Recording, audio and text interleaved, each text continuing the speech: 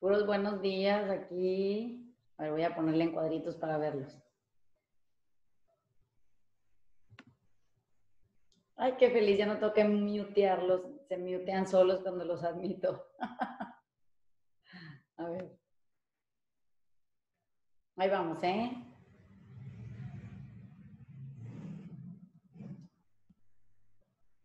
Déjenme picarle aquí. Ahí van llegando, ahí van llegando. Déjenme poner mi acordeoncillo del libro este. Ay, buenos días. Ya es viernes, qué bárbaro. Se me está acabando la vacación. Hola, Trauma. A ver. Hola, mi Vane.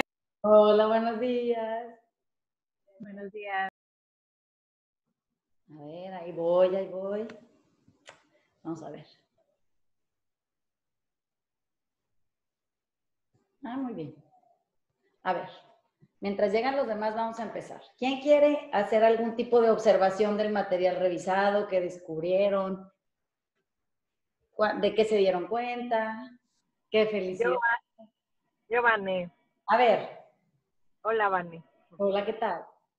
Oye, yo cuando, o sea, me di cuenta y observé que en todos lados hay pornografía emocional. Ajá. Cañón, todo mundo lo hace, pero como que estamos inconscientes de eso. Cuando vi el video de, o sea, estamos inconscientes de eso, pero no logro saber o entender por qué lo seguimos haciendo. Digo, aunque no lo sabemos, mucha gente, eh, ¿por qué seguimos participando en esa pornografía? Ajá. Y cuando vi el video del llanto, o sea, todavía ni empezaba a llorar y ya me habían dado ganas de llorar. Por ver, por ver a la monita sufrir. Entonces dije, no, ¿qué es esto? O sea, ¿por qué siento horrible de verlos llorar y me contagiaba de su Sí. llanto? Ni lo pude acabar de ver, ni pude acabar de ver que decías que el moco salido, no. No, no. O sea, Como que está se- como... Se vuelve muy inquietante tener que participar en la vida de los demás desde ahí. O sea, como que parece que solo podemos admitirnos en la vida del otro cuando podemos de manera pornográfica relacionarnos emocionalmente con ellos.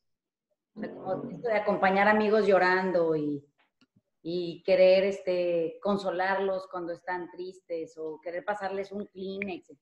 Es como participar del evento, ¿sabes? En realidad no estás haciendo nada más que sentir. Lo que se ha vuelto muy curioso es que no podemos sentir de ninguna otra manera. O sea, nos tenemos que llevar a esos extremos para poder de pronto despertar a una vida sensible. O sea, no, no nos basta con un atardecer. O sea, esa es suficiente pornografía emocional que provee la naturaleza.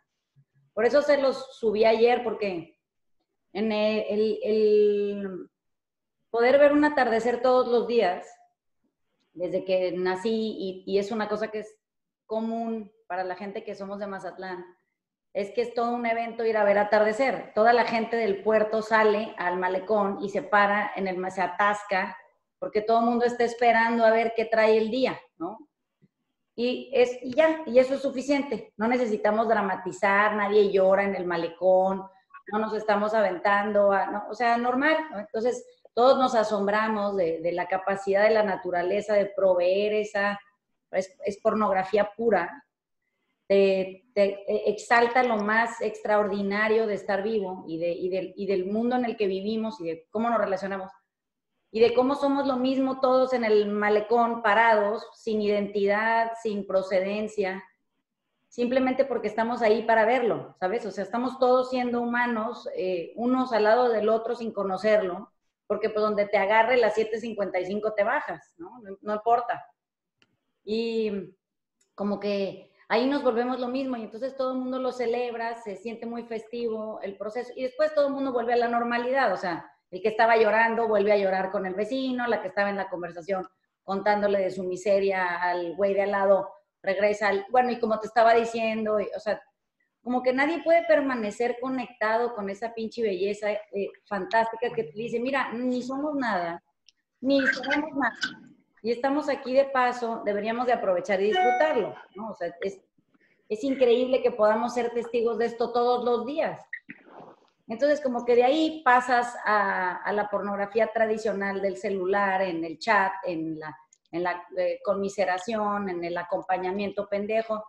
Cuando vienes de la verdadera y más extraordinaria muestra de, de, grandeza, o sea, de lo que nos debería de hacer sentir algo, ¿saben? Bueno, y es un atardecer, lo probé, cómo se mueven las olas, el ruido del mar, o sea, es muy increíble cuánto hay, ¿saben? O sea, pienso en el huerto de la Caro, mi prima, que todo el tiempo está mandando fotos de sus tomates y sus zanahorias y sus pepinos. Y a mí ya me parece extraordinario que su, su capacidad de ver ya, ya ha llegado hasta allá. O sea, si estaba en Puerto Escondido en la cuarentena, fotografió toda la pinche fauna del lugar, o sea, desde las culebras hasta los alacranes, y pasando por las florecitas y los bichos que parecen palito y no sé qué.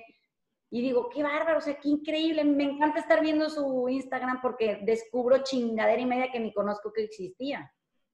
Eso es pornografía emocional de a de veras, es, es la que ya provee el mundo para nosotros. Bueno, no conformes con eso, nos tenemos que ir a provocar más, ¿ven? Pero es pura pendejada, o sea, estamos viviendo de asombrarnos de cosas que no asombran a nadie. O sea, como que queremos dramatizarlo todo para poder llegar a sentir lo que un atardecer haría por nosotros, ¿ven? Y queremos sentir eso todo el tiempo. Bueno, pues experiencia a la hora del atardecer diario, vayan, salgan, obtengan su dosis de pornografía emocional, regresen a su vida normal. Como que siempre lo queremos llevar más allá. O sea, nos gusta eh, como arrastrarlo, ¿ven? Como que lo que queremos es que se vea que estamos ahí sintiendo, acompañando, como si fuera eso muy divertido, ¿no? Entonces, Qué curioso que la cuarentena nos ha regresado maneras de observar eh, de manera puntual cosas atípicas que son típicas. O sea, para nosotros hoy andar fotografiando bichos que parecen palito, pues como que parece muy atípico, pero es muy típico, se usaba antes, así se documentó la historia de la humanidad. Bueno, pues como que no, ya nos aburre. Y entonces en lo que nos aburrimos nos vamos a buscar pornografía emocional. Entonces, es eso, ves que, que, volteas a tu alrededor y dices, no mames, el atardecer era suficiente. no necesito llegar a armar un pedo cinco minutos después a ningún lado. Esto era mi dosis del día. Entonces, como que no sabemos vivir con sencillez. O sea, la simplicidad hoy nos aburre. ¿no? Nos parece que los libros deberían de comunicar drama, las conversaciones tendrían que ser profundas y agotadoras, tendríamos que descargar emoción en todas partes, hablar con, como con este tono desbordado o enérgico. ¿A qué chingados? No, no, no queremos así nomás, quietito y ya. No, como que aburre. ¿Saben? Como que, ay, que no tiene nada que contar. Ay, pues es que nunca le pasa nada. No, pues es que su vida está muy aburrida. no mames. O sea, ¿quieren la vida de la Virginie que les mandé o qué? no, pues ¿para qué? ¿No? ¿Qué, qué, qué pinche cosa tan atribulada tener que vivir todo eso para escribir 169 páginas, ¿ven? O sea, qué, qué, qué vida tan increíblemente profunda, aparente, tiene que vivir una persona para poder producir material. Pues lo hubiera escrito yo, si es lo que les estoy diciendo en las clases todo el tiempo y a mí no me ha pasado nada de lo que le ha pasado a ella. O sea, no tuve que ser prostituta, no, no tuve que vender mi cuerpo, no he tenido que andar dando masajes en ningún lado eróticos a nadie, no he tenido que usar Minitel para comunicarme y conseguir citas, o sea, no mamen, no necesitan eso, necesitan vivir. Ahí está el contenido en la vida, está puesto para nosotros. Hay un pinche universo adentro de nuestra existencia, en nuestra vida. ¿Por qué tenemos que ir a buscar afuera pornografía emocional para enriquecernos? ¿Sí entienden? sea, como que tienes que tocar fondo para renacer. No, que no. Se los he dicho millones de veces, no es necesario esa madre. Se la van a pasar de la chingada tocando fondo para llegar a ningún lado. O sea, van a llegar al mismo lugar a donde llegaría todo el mundo. O sea, escribir el libro que dice, pues sí, como que llegó a la conclusión de que todas las mujeres son o han sido de alguna manera zorras o putas o prostitutas, como les quieran decir, cuando se venden por un bien. Eso quiere decir cuando se ponen a, llevar a cabo tareas por las que van a recibir un pago, especialmente una tarea sexual, no importa si estás casada, no importa si eres soltera, no importa si tienes novio, al final le quieres la ganancia. Entonces, pues lo tuvo que poner ella ahí para que se dieran cuenta. Ya sabían, ya sabían. Entonces, ¿qué es lo que nos hace ignorantes del tema? Nada, nuestra búsqueda de pornografía, eso es lo que pasa.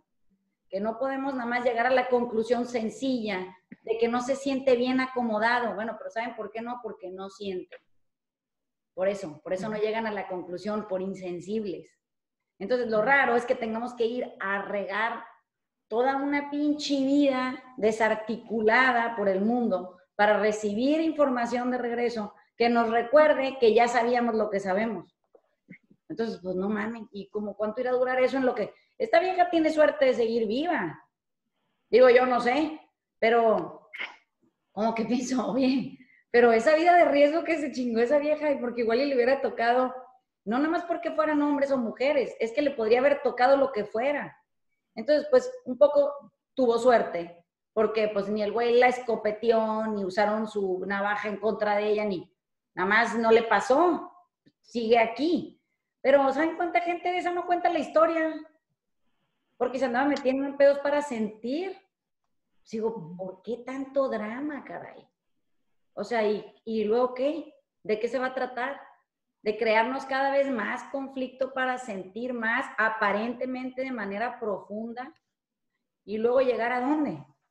A escribir 169 páginas de miseria. Ahora, lo que quien haya leído la teoría de King Kong, es largo, pero es muy fluido. Es una mujer muy inteligente, muy, muy capaz para no victimizarse, ¿ven? O sea, tiene muchas cosas a favor. Virginia es una mujer que no habla del feminismo desde donde lo platica todo el mundo, entonces eso la hace muy valiosa porque como que no puede distinguir en géneros, como que hace del formato, del estigma social, su causa, ¿saben? O sea, nos lleva a todos a entender por qué nos relacionamos, cómo nos relacionamos, sin, sin una motivación más que porque no podemos ni sabemos cómo hacerlo sin el comportamiento adquirido, sin sin todo el, confinamiento social en el que nos han educado, ¿no? Entonces, como que ella se sale todo el tiempo de ese lugar y está todo el tiempo retando gente y todo el tiempo está llevando las cosas al extremo. Y ella cree que aprende así. Ella ya sabía, porque es una mujer muy capaz. su libro no viene de esas experiencias, viene de poder observarse en ellas, que es lo que hace muy bien. O sea, quien la haya leído se da cuenta que ella es la mejor observadora de sí misma. Sabe todo de ella se puede describir, lo enuncia, que es lo que les decía la clase pasada, tiene un vocabulario para ello, tiene un diccionario emocional muy amplio. Y entonces no dramatiza, ¿por qué? Porque cuando uno tiene un diccionario emocional muy amplio, no dramatiza, no es necesario. Tiene palabras para todo. No tiene que llorar para conseguir el resultado, lo denuncia. Entonces, cuando nosotros podemos relacionarnos desde ahí y podemos observar un atardecer, como les decía al principio de la clase, es suficiente pornografía emocional la naturaleza, no necesitan ayuda humana. De repente estás ahí asombrado de esa pinche belleza magnánima. A ti no, no hubieras podido pintar un cuadro nunca de esa manera, jamás. Te supera. Todas las veces, porque aparte es diferente todo el tiempo y todo el tiempo te asombra de la misma forma. Y de repente te das cuenta que ahora necesitas enunciarlo. O sea, le quieres contar a alguien lo que viste. Bueno, ahora tenemos cómo fotografiar pornografía emocional de la naturaleza. Se puede hacer, se puede compartir mi atardecer en Mazatlán hasta el último rincón del mundo y le llega a alguien y sientes el mismo golpe en el pecho, no tienes que haber estado aquí en el malecón. Lo ves y dices, no mames, qué cosa tan bonita, qué bárbaro, o sea, quiero ir a Mazatlán. Como que esa es tu anunciación. Si la dices en cualquier parte, todo el mundo lo entendería porque ven y sienten lo mismo. No tiene que ser de aquí. ¿Sí me explico? Nada más tienen que ser humanos. Entonces, lo que nos está empezando a separar es que nos estamos deshumanizando y nos estamos llevando a lugares a donde no nos gusta visitar, que es a la confrontación personal. Es a donde me doy cuenta, y, y Virginie lo explica muy bien, es que de repente ya no puedes controlarte porque necesitas más para sentir. Entonces, alguna vez les he puesto el ejemplo este, de cuando ustedes beben por primera vez. Para conseguir el efecto que están buscando de alcoholizarse, es necesaria una cerveza a los 13 años. Tú ya estás pedísimo con una cerveza a los 13 años. Luego de repente vas avanzando en la vida y necesitas beber más para conseguir ese estado de ebriedad. Así funciona. Luego más para conseguir el estado de ebriedad, luego más. Entonces, se llama tolerancia, así se llama en términos de recuperación, se llama tolerancia, el aumento de la tolerancia. Aumenta tu tolerancia al consumo, ¿por qué? Porque para conseguir el efecto inicial necesitas más de esa sustancia. Bueno, esto aplica para todo. Aplica en abuso, aplica en pornografía emocional, aplica en relaciones jodidas, aplica en, en todos lados. Van a estar más de lo mismo. Entonces es bien raro porque digo, bueno, y entonces, ¿cuánto es mucho? Porque pues a lo mejor para mí mucho es una cerveza porque yo me pongo pedísima con la cerveza uno, pero pues a lo mejor para Anabela son 16 whiskies. Y todavía seguimos en la conversación las dos bien borrachas. ¿Por qué? Porque su tolerancia es mayor a la mía. Bueno, pero ¿a dónde vamos a acabar? O sea, ¿en qué grado de deshumanización nos vamos a tener que encontrar para poder sentir algo? Lo que sea. Entonces, ahí está la señorita francesa, pseudo periodista, filmándose llorar. ¿Para qué? O sea, ¿y qué logró? Que, que sintieras entre repulsión y tipo asquito y lastimita, pero roñita, pero luego compasión, pero luego compasión por ti, pero luego vergüenza, pero luego culpa, pero luego pena ajena. O sea, todo eso te pasa. Ah, entonces necesitas a alguien llorando en una pantallita para sentir eso. Oye, pero nomás volteate a ver y ya, se te, pinche torrente de información que se te desbordaría. Y entonces no necesitas estar viendo a nadie llorar, necesitas voltearte a ver y decir, ah, mira, todo esto surge en mí cuando me observo muy de cerca. O sea, somos en aislamiento, nosotros con nosotros, somos suficiente pornografía emocional. No necesitan la eso quiere decir que tampoco necesitan generar drama para sentir algo. ¿Sí entienden? Y la gente le gusta estar metido ahí, como que es como si despertaran a la vida. No mamen, no, no mamen, no existe eso. Eso no es la vida. Esa es la, la miseria última de ser un humano. Entonces, ¿qué pasa? Si lo pasan al ámbito que quieran, a la empresarial, al ámbito político, al ámbito de ser mamá, papá, esposo, eh, hijo, lo que quieran. De repente se pone bien chistoso el asunto, ¿por qué? Ahora resulta que tienen que crear drama para poder llevar eh, la sensación de solución al ambiente, ¿saben? Entonces, ahora el presidente está en Estados Unidos y ahora la nueva novedad, nueva novedad, es que el güey lo está haciendo o bien o mal. Pues miren, es que lo está haciendo. ¿Cómo? ¿Cómo salga. ¿Cómo es eso? No sabemos. Las proyecciones que ustedes tienen son absurdas porque nadie calcula que lo único que es probable es que se muera el Señor en un día de estos, igual que nosotros. O igual y se mueren ustedes antes de que vean el resultado de su visita. Pero eso no se nos ocurre, como que se nos ocurre que vamos a poder estar aquí durante los siguientes 60 años para corroborar el nivel de su debacle o del proceso del país como que digo, pero ¿cómo sabes? No puedes ni con un atardecer tú. No puedes, no puedes administrarlo. No puedes administrar tu sentir ahí, no puedes administrar tu aprendizaje, no puedes administrar tu relación de pareja, no puedes administrar tu crecimiento personal. ¿Cómo crees que puedes administrar a distancia la cabeza de alguien o el resultado de una vida? O sea, ¿cómo se nos, se nos va a la cabeza hasta ese nivel de pornografía proyectora? Porque pues es que hay pornografía emocional hasta en la proyección, ¿ven? Como que no aterrizamos con nosotros nunca. Es increíble. Entonces, em, creo que lo que decía Clau al principio en su intervención es que volteas alrededor y de lo único que te das cuenta es que está lleno de gente armando un drama. Todo el día, todo el tiempo, a todas horas, en todos los lugares aún por encima de la probabilidad que ofrece la naturaleza de asombrarte todo el tiempo. ¿Saben? O sea, no cesa en asustarte con su capacidad todo el día. Te dice, mira, ve de lo que soy capaz. O sea, eh, el otro día que estábamos en la isla, estaba viendo el mar, Mazatlán de frente, digamos. Quien haya venido a Mazatlán sabrá que las tres islas están de frente a la bahía y entonces tú puedes estar en las islas viendo la costa del el malecón de Mazatlán. Y entonces tú puedes ver el oleaje y decía yo, nada más la pinche capacidad del mar.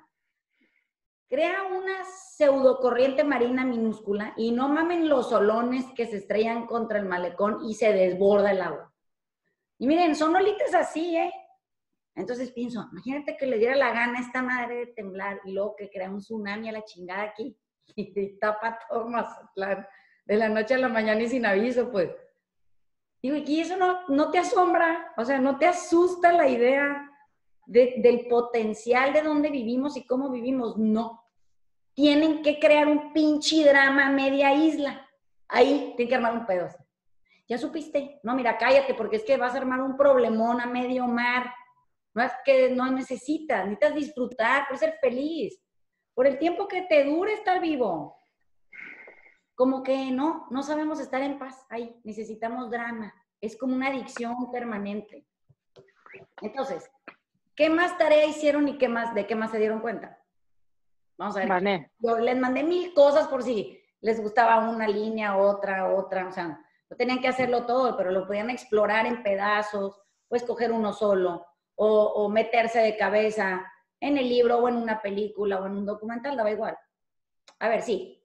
Ah, mira, buenos días. Yo, ah. Este, yo eh, hice, vi la película La La Land otra vez. sí. Eh, instintivamente cuando dijiste pornografía emocional se me ocurrió la película. Sí. Porque en la parte donde ella ya está casada y va y lo ve en el bar. Sí. Si el director o directora, no sé qué haya sido, fuera, no tuviera esa cantidad de pornografía, no hubiera puesto eh, cómo se imaginaba él o ella si hubieran estado juntos, porque no se los imagina ella echándose un pedo, gorda, con una lonja insoportable se imagina cómo le va a dar los rayos del sol en el pelo, con el niño, una pornografía emocional tremenda. Sí. Y conozco mucha gente que le gusta esa película por esa parte. Sí. Porque como no se quedó con su esposa o su esposo o su pareja, eso lo, es una chaqueta mental. Sí. Que ni siquiera es necesaria en la película. No, pero es, es, es para para chaquetearte mentalmente en esa parte. Pero la que más me llamó la atención fue la de no te metas con los gatos, porque hasta la música es para correrse, porque está diciendo que ya van a encontrar a alguien y, lograron un triunfo y el fondo de la película es tan, tan, tan, tan, tan, tan, tan, tan, y cuando empiezan hay este, juegos artificiales, como si hubiera sido el orgasmo o el clímax. O sea, esa sí se me hizo muy, verdaderamente de pornografía emocional, más todo, ¿no? De que la señora pues no tiene nada que hacer y el otro tampoco y les dio sentido, les dio sentido porque no tiene, y, lo comprendo porque, bueno, yo vivo aquí en la frontera y, y la vida, aunque sea, aunque estemos aquí juntos, sí es, es muy diferente y sí es la vida así, o sea, no hay conexiones, es tremendamente difícil. Debería Ah, y el libro que sugeriste eh, también este, me llamó mucho la atención, de Miriam Greenspan. Sí. Mucho, muchísimo. Eh, porque, bueno, todo lo que has hecho me ha hecho ver las cosas muy diferente. Las películas, si voy a la tienda, se me hace muy diferente.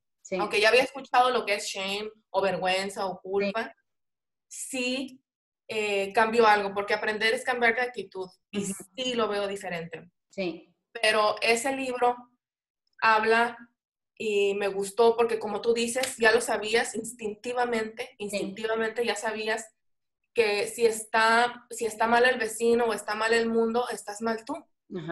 Claro, es un, es un sistema. Y me gustó mucho su rollo de que le pregunta a algún paciente que le, que le cuente su rollo de su trauma cuando su papá la, la golpeó, los golpeó a todos o lo que haya pasado. Sí pero que lo contextualice, quién era el gobernador, quién era el presidente, eh, a cuánto estaba el dólar en ese momento. es muy interesante. Pero sí, el de no te metas con, el de la casa de papel, no la, pude ver cuatro capítulos porque me enfada, me enfada. O sea, la de no te metas con, nunca se me hubiera ocurrido verla hasta que lo dijiste, pero más o menos entendía que era de ese rollo. La casa de papel todo tiene que ser, porque el director es un chaquetón, debe masturbarse mucho, en general. Es mi punto de vista. En general, así. Debe no tener ninguna satisfacción ya. Este, y se me hace todo todo dramatizado y, o sea, se me hace difícil entender cómo es entretenida la casa de papel. Ajá, está, está hecha para el, para el público consumidor de pornografía emocional solamente, que es amplísimo. Sí, sí. Pero pues sí, el documental de Michael Jackson, eh, definitivamente lo que tú comentabas, sí lo pude ver, no sesgado porque tú lo hubieses comentado, sino efectivamente, o sea, los chavos no tenían ese marco de referencia en ese momento. Sí. Y el otro documental es de Jeffrey Epstein. Sí. Eh, claro, también está lleno de, de, hay que sentir mucha lástima. Eso no me gustó, de hecho me enojó, porque victimiza otra vez. O sea, ellas están, ellos, el que hizo o la que hizo el, documental está diciendo que las revictimizaban, que no las tomaban en cuenta, pero el que está haciendo el documental también.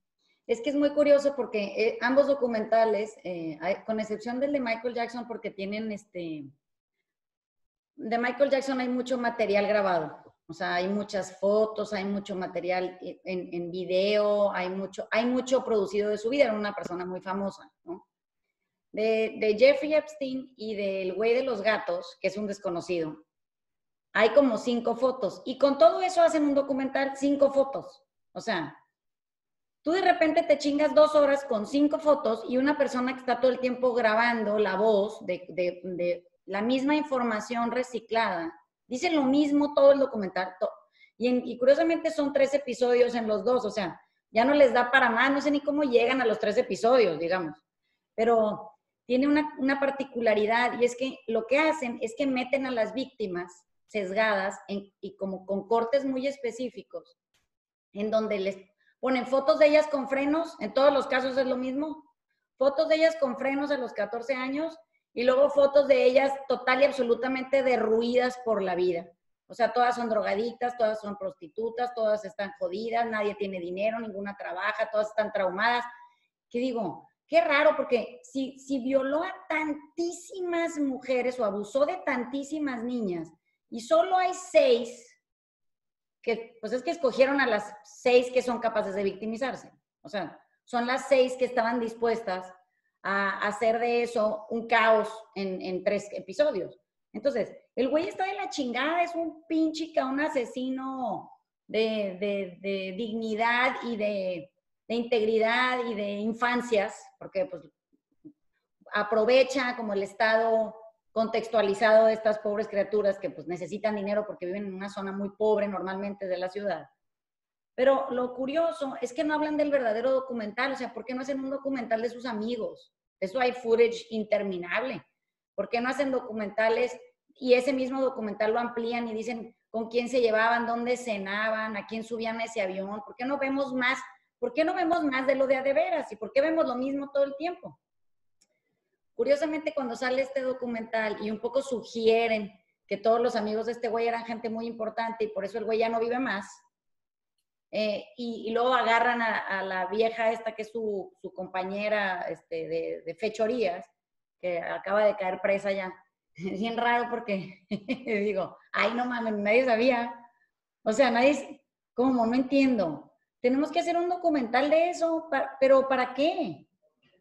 Es material público. Todo el mundo lo sabe, todo el mundo sabe quién es Bill Clinton, no mames. Ahora resulta que es buena persona y se nos olvidó y su esposa no sabía que al güey le gustan las niñas, no sabe, sí sabe, no le importa, porque es la, la versión de la mujer del libro de Virginie. O sea, si entienden que todo está ligado, es, es, muy, es muy puntual. La información que les mando no es para que no la lean, es para que la conecten, porque todo define al otro. O sea, hay un material que describe al otro, que describe al otro, que describe al otro, que nos permite profundizar en información y que nos da luz a lo que está pasando. O sea, no estamos consumiendo material apto para desempeñar de manera humana. Estamos consumiendo material para derruir el espíritu. ¿Se entienden? Nos estamos autodevorando. ¿Por qué? Pues porque yo siento que esa, esa frase que está en la carpeta del taller que dice, una mente no alimentada se devora a sí misma. Bueno, ahí está la prueba. ¿Se entienden? Ahí lo tienen, en las manos. Entonces, ¿por qué no la alimentamos de algo que la haga desarrollarse, crecer y transformarse? Bueno, pues porque no es pornográfico eso, porque nos parece aburrido, porque no te enganches y no te enganchas no sigues. Entonces, pues oigan, a ver, pero ¿cuánto material enganchador con el límite bajísimo que tenemos de, de, apreciación real de las cosas vamos a conseguir? ¿Por qué? Pues porque a la tercera hoja, no, es que está muy difícil, Vanessa. Ay, pues no sean pendejos, suban la barra de comprensión, carajo, no mamen. O sea, no es posible que hoy nos limitemos a que nos mastiquen la pinche información y nos la den en la boca para tragar. No quieren hacer un acto introspectivo de inteligencia y desarrollarla. O sea, no se quieren volver gente inteligente de repente. No, no, queremos masticado así. No, explícamelo. No, no te lo voy a explicar, lo vas a deducir tú con lo que te voy a mandar. Tú vas a hacer el trabajo, no yo. Yo te voy a decir qué, qué es lo que tienes que buscar. No te voy a decir qué vas a ver, eso lo vas a descubrir tú y te vas a volver una persona capacitada para buscar información relevante, transformadora, ver la vida desde otro lugar, como decía Ana, otros filtros, con otros ojos, para poder producir material que nos salve. ¿Sí entienden? Sea, tenemos que volvernos gente que produzca información relevante, no más de lo mismo. Estamos produciendo más información de lo mismo. Entonces, pues ¿cuántos libros se van a escribir o películas de novela romántica? Ah, la chingada, pues es la misma madre siempre. O sea, se enamoran, se desenamoran, se enamoran, se desenamoran, se casan y vivieron felices para siempre. No es cierto eso. No existe esa historia. Entonces, ¿cómo la seguimos vendiendo? No, pues me supera a mí. No queremos hacer otro tipo de contenido y publicitarlo. O sea, la, la vida se trata de cosas más interesantes. Está bien chingón estar vivo. Bueno, en esos términos está bien aburrido. Sí entiendo por qué la gente anda buscando cosas. Pues porque te cuentan el cuento y dices, no mames, otra vez esa madre. O sea, lo mismo siempre, pues, no hay más. Nos vamos a limitar a ser estas las mujeres y estos los hombres y estos los intergeneracionales y estos los adolescentes y estos los adultos mayores y ya, es todo lo que hay. No, pues ya mejor nos suicidamos. Chingos, vamos a quedarnos vivos a batallar, ya sabemos en qué va a acabar. ¿O no? Ya por último, eh, me pasó con Jeffrey Epstein, que no, no, seguí el tema ni nada hasta ahorita, que ya me lo habían recomendado, pero dije, ay, va a ser lo mismo. Sí. Eh, pero me pasó con, como igual con Saddam Hussein. a Saddam Hussein, me acuerdo en el 91, si lo veías de lejos y no sabías que era lo que te estaba vendiendo, esto, entiendo que es un gran dictador y hizo mucho mal en el mundo, pero si lo veías de lejos tenía cara de buena persona. O sea, si lo ves sin, sin nada de lo que te hubieran dicho, tiene cara de buena gente. Y este señor también. Ese señor está contento. O sea, no, se ve. o sea, es que no, o sea, las, las, las, desafortunadas víctimas son las que se ven con el descontento, pero él se ve. sí, él se ve feliz. Pues es que es un psicópata. O sea, esa gente se ve feliz siempre porque no siente. Y ya les he dicho muchas veces, dramatizar o aventarnos a esto de la pornografía emocional nos va a llevar a acercarnos cada vez más a vivir una psicopatía provocada. O sea, nos vamos a volver gente que necesita cada vez llevar al extremo la vida del otro, la propia, porque no siente, y como no siente necesita más y más y más, y llega un punto en donde esa madre se desconecta. Entonces, pues no creo que ese güey haya llegado a ser psicopático de putazo. Yo creo que le tocó la pinche vida como le tocó. El güey se desconectó y dijo, ya mejor vamos a vivir así, está más fácil. Bueno, es que no sentir es muy fácil. Todo lo hace sencillo. ¿Por qué? Porque no tienes culpa y vergüenza.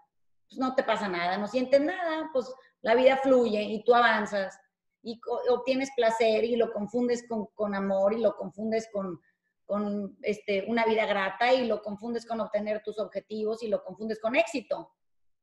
Pero pues no mames, el placer es una cosa y todo lo demás es otra cosa. Hay términos para cada, descriptivos para cada una de esas palabras. Y no todas son placer. Bueno, pues aquí ya se nos confundió el asunto y creemos que sí. Entonces, necesitamos regresar a lo esencial, ¿ven? O sea, necesitamos devolvernos a existir desde un lugar más sensibilizado, desde un sitio en donde no necesitamos el drama para sentirnos vivos en donde, en donde sí pueden pasar los días sin hablar de cosas serias porque no hay, porque no pasó nada, porque el día fluyó de manera ligera. Y no por eso quiere decir que estés desperdiciando tu tiempo, tu vida. Quiere decir que tuviste posibilidad de ponerle palomita a lo grato que se siente estar sentado en observación de, de ti del entorno, a poder recibir los rayos del sol sin tener que estarlos todo procesando todo el tiempo, oyéndote como en La La Land, que el pinche nombre es fantástico. ¿Por qué? Pues porque, ah, no, a la vida que nunca tuviste. Ay, no mames, si sientes nostalgia por algo que no fue tuyo, que no sabes ni qué chingados es, no te lo estás imaginando. Ya también podemos sentir nostalgia y melancolía por lo no sucedido. Pues es que estamos locos. Lo que no pasó, no pasó. No puedes sentir nostalgia por algo que nunca fue tuyo. Entonces, como que la película es tramposa y lo hacen muy bien. Porque lo que te hacen sentir es furia al final. Sientes, ah, yo salí de esa película, la, la fui a ver con mis hijos y salí encabronada la chingada. Me cagó la pinche película. La odio. O sea, si les preguntan a mis hijos, y no están aquí para, para oírme, pero les preguntan, ¿cuál es la, la película que más odia a tu mamá? Les van a decir, La La Land. Salió de la pinche película encabronada, así decía yo, no puede ser que haya llevado la pinche película hasta acá. Lo detesto, la detesto, me cagó. Oigo el soundtrack de la película, me choca la chingada, digo, no puede ser. ¿Por qué? Porque, ¿qué están vendiendo? Se están vendiendo aspiraciones fallidas. O sea, tu mejor versión que nunca fue puesta en donde pudo haber sido, pero tampoco fue, pero la cagaste, pero vas a vivir con el anhelo de una otra vida toda tu pinche existencia. Ese cabrón es un loser, hombre. El cabrón del pianito es el güey del pianito para siempre. No sé qué se imaginó la vieja cuando lo vio. Y la vieja es esa vieja tiesa, rigurosa y sin pinche posibilidad de ser flexible hasta que se muera. Esa es ella. ¿Por qué? Porque así decidió ser. Entonces, ¿Qué es lo que van a encontrar si se juntan otra vez mierda? Pues si de ahí venían, hombre, ¿cuál es la novedad? Ah, no, que no, que igual en una de esas fue diferente. Vamos, no.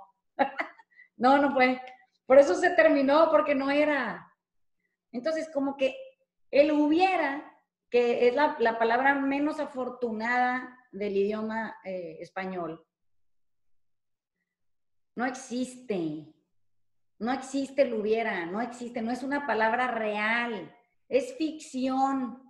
De la pinche pornografía emocional tiene su definición, dice hubiera, así dice. Es pura pornografía emocional. Y si yo hubiera estado en este atardecer acompañada de no mames, no estás, es Olguita y tú, a la chingada, está bien padre ese plan. Ah, bueno, y si hubiera eh, vivido, y si hubiera estudiado, y si hubiera decidido, y si no hubiera, y si me hubiera casado, y no mames, otra vez, el puro La La Land. Bueno, en el La La Land se muere la gente un día. Es lo que es, hay lo que hay. Ahí deberías de poder ser muy feliz, muy feliz con lo que tienes. Tampoco te va a durar, no es como que La La Land es para siempre. Eso que tienes ahorita no te va a durar. No te va, se va a extinguir como todo en la vida. Entonces, ¿no lo quieres aprovechar? No. A mí me hubiera gustado, ah, que la chingada, ok, perfecto. Entonces, vamos a vivir en, en el hastío eterno de la aspiración dramática. Porque por eso llora la vieja pendeja que se graba, ¿sí entienden? Porque se está imaginando su hubiera, por eso puede llorar. Pero miren, en chinga llora. ¿Por qué? Porque en el hubiera uno se pone bien triste. ¿Sí entienden? El hubiera te pone bien triste todo el tiempo. Bueno, y la gente no se cansa de estar pensando en el hubiera. Todo el tiempo están pensando en el hubiera. ¿Cómo no van a llorar? Yo también si me pongo aquí en el hubiera, lloro. Luego me filmo y luego, ¿por qué no me asumo bien capaz en lugar de producir material sensible, transformador? No, me grabo y luego hago todo un movimiento de esa chingadera. Entonces, ¿por qué no más gente me mande sus llantos del hubiera? Así se debería llamar la página de esa vieja. Pura gente pendeja en el hubiera y todos llorando así. Ya, y entonces si es una obra artística que la ve y la ponga donde quiera, le va a enseñar algo a alguien. No, dice que porque la gente no tiene derecho de llorar. No, no, la gente no, porque no puede generalizar, está hablando de ella. ¿Sí entienden? Bueno, nosotros también en el hubiera nada más estamos hablando de nosotros y nuestro fracaso, de vivir en el presente, de habitar aquí chingona toda madre. No, quiero lo que no tengo. Pues si es que por eso somos bien pendejos, pues porque queremos lo que no tenemos. Bueno, si quieres lo que no tienes, entonces deberías de ser bien valiente, bien cabrón y aventarte a conseguirlo. Bueno, sé si es una vida vivida. Oye, que igual y no te sale. Bueno, no importa, pero por lo menos lo intentaste. Ah, no. ¿Saben qué es lo que hacemos en la pornografía emocional? Me siento en esta silla amarilla y desde aquí hubiera. Para el resto de mi vida me voy a ser viejita aquí en esta silla en el hubiera. Y luego voy a decir, no, es que a mí me hubiera gustado. ¿Y por qué no lo hiciste? Pero ¿por qué no te aventaste para cancelar la pornografía emocional y ponerte a vivir? No, pues es que no, porque no, es que yo no tenía la posibilidad. Pero ¿por qué no? ¿Por qué no? ¿Te, encerraste en el, en el cuarto que decía aquí bienvenidos todos los pendejos inmóviles o cómo? Bueno, pues es que eso es lo que parece. O sea, nadie se atreve a hablar, nadie se atreve a hacer, nadie se atreve a vivir, nadie se atreve a decir, nadie se atreve a explicar, nadie se atreve a salir con la verdad, nadie se atreve a exhibir sus secretos, no, nadie. Hay toda la gente escondida en el hubiera, no, pues es que ahí no hay vida. Entiéndanlo como quieran, se van a morir en el hubiera. Esa es la pornografía emocional del drama. El drama solo surge del hubiera. ¿Sí lo ven? Es el único lugar desde donde florece esa madre. Entonces, La La Land es hubiera, eh, la historia del documental 1 es hubiera, la del documental 2 es hubiera. Si yo hubiera puesto atención a mi hijo, que era un psicópata desde chiquito, no hubiera matado, hubiera, hubiera, puro hubiera. Si yo hubiera este, denunciado al Señor a tiempo, hubiera, si hubiera, hubiera. Yo no hubiera llevado a mis amigas a que le hicieran masaje por 200 dólares, se hubiera. Todo eso hubiera. La, la, casa de papel es puro hubiera si no hubiéramos asaltado el banco, si no nos hubiéramos metido en el pedo, si yo no hubiera conocido a este güey. o sea, están contando la historia de lo que habría pasado. Bueno, si hubieran sido felices si se hubieran quedado viviendo la vida que sí tenían, no la que querían. Entonces, como que la gente piensa que eso es mediocridad. No, no, mediocridad es cuando yo en el momento presente no lo acepto, me peleo con él y desde ahí me resisto a la vida que tengo, entonces no avanzo. ¿Saben? O sea, la mediocridad es no rendirse al momento presente y aceptarlo con todas sus variables y decir, esto es lo que tengo ahorita y con esto tengo que poder hacerlo mejor. ¿Por qué? Pues porque es lo único que tengo. Entonces, toda esta pornografía emocional va a ese lugar desde donde te llama la posibilidad de otra vida que no tienes, pero que tampoco te atreves a accesar. ¿Saben? O sea, nada más, no más nada, no, que me llegue. Bueno, pues es como si la vieja del libro de la teoría de King Kong espera que alguien la salve. ¿Quién la va a salvar? Su cliente uno. ¿Quién la va a salvar? el que lee el libro, se va a tener que salvar ella. Y por eso es fantástica. O sea, por eso Virginia es ejemplar, porque se salva. Porque ¿saben qué es lo que más le da miedo? Decir que era prostituta. Y para eso escribió el libro, para llegar a ese capítulo y decir, mira, la verdad es que me tuve que confrontar para escribirlo. Tuve que escribirlo desde donde digo, yo sí fui puta porque cobré por el servicio sexual. Y contar esto en estas 169 páginas me está costando un trabajal, porque lo voy a tener que justificar. O sea, voy a tener que decir qué hice y cómo lo hice y para qué lo hice y qué aprendí. Entonces, la manera en la que desarrolla una teoría sensible, profundísima, hace que todas las mujeres que leamos el libro digamos, ah, no, pues entonces yo también. Yo también he cobrado de alguna manera por algún servicio sexual en algún momento. Haya sido con una bolsa, haya sido con el, que me bequen en mi casa con tres hijos, haya sido porque tengo muchachas en mi casa que me ayuden, haya sido, no, pues es que de alguna manera cobré. Entonces, ¿cómo me quito del, proceso de decir yo también? Pero ¿por qué nada más digo yo también a la victimización? No quiero decir yo también a lo empoderada, utilizadora, golfa, aprovechada. No, pues no, es que esa no me conviene tanto. Suena mal. No, es que suena muy bien cuando lo digo porque lo digo de donde es mío, donde me aprovecho de lo que sí he vivido y quién he sido. De otra manera, nada más me la paso justificando, juzgando y opinando de otras formas de vivir. Si no leyeron la teoría de King Kong, léanlo. No es un libro sencillo, les estoy avisando que no está masticado. Digo, por si andan con la duda de si se van a confundir a la mitad. Sí, sí van a tener que tener un diccionario de términos de repente y decir, ¿qué dijo? ¿Qué significa eso? Está bien, Igual en una de esas nos volvemos más inteligentes.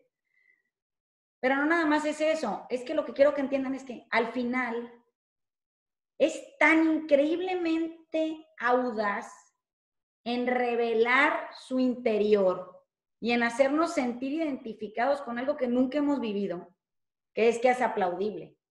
O sea, es increíblemente alentador entender que es feminista, pero no puede, porque no puede hacerse dueña de algo que no provoca, ¿saben? Y entonces dice, mira, sí, pero yo provoco, pero yo, yo me, me volví ultra o hiper femenina para conseguir lo que quería. O sea, yo me puse los tacones adrede. No me los pusieron, yo me los puse y no, y no porque no supiera lo que estaba haciendo, sí sabía. Entonces, se, se vuelve tan punzante, pero y se vuelve tan increíblemente alentador leer la verdad que nos dan ganas a todo el mundo de salir con un libro y decir la suya. ¿Sí lo entienden? O sea, la verdad no nada más libera al que la dice, libera a todos los que estamos alrededor. Entonces, cuando les decía necesitamos eh, dejar de lado esta superioridad moral chafa en la que vivimos, en donde yo jamás sería incapaz, a mí nunca. Yo, no, qué hueva. Sí, tú sí. Nada más que eh, Miriam Greenspan lo dice muy bien, contextualízalo y verás cómo bien rápido acabas en el mismo pinche lugar. Es cuestión de que la circunstancia adecuada se presente en el momento perfecto de tu vida para que tú acabes haciendo algo que pensaste que serías incapaz de hacer. Bueno, y entonces, o sea, voy a juzgar al otro porque, porque me parece que es lejanísimo a mí. No, tú estás lejanísimo en, en, a lo mejor un contexto histórico un contexto familiar, pero eso no quiere decir que nunca te va a pasar y vas a acabar en el mismo pinche sitio. Entonces, ¿qué nos hace tan diferentes? En la vida real, ¿qué nos hace tan diferentes? Oye, Vané. Sí, sí. Una pregunta. En el libro de King Kong, ¿Sí? ¿en, qué momento? Porque yo como que no... Por un lado se me hacía muy, muy positivo lo que, lo que escribía. Sí. Como que sentía que estaba como siendo muy honesta y muy sincera. Ajá. Y por otro lado, estaba tratando de buscarle la parte de pornografía emocional. Entonces, ¿en qué momento es una, una posición en que se pone vulnerable de una manera positiva y en qué momento es. No hay, te lo di porque no, porque logra nada más no exhibirla. O sea, es un libro en donde empiezas y terminas y no la vas a encontrar. Y la estás buscando por todas las hojas. Y dices, en algún momento se va a hacer la víctima, en algún momento va a llorar, en algún momento va a decir, pobrecita yo, en algún momento le va a echar la culpa a alguien.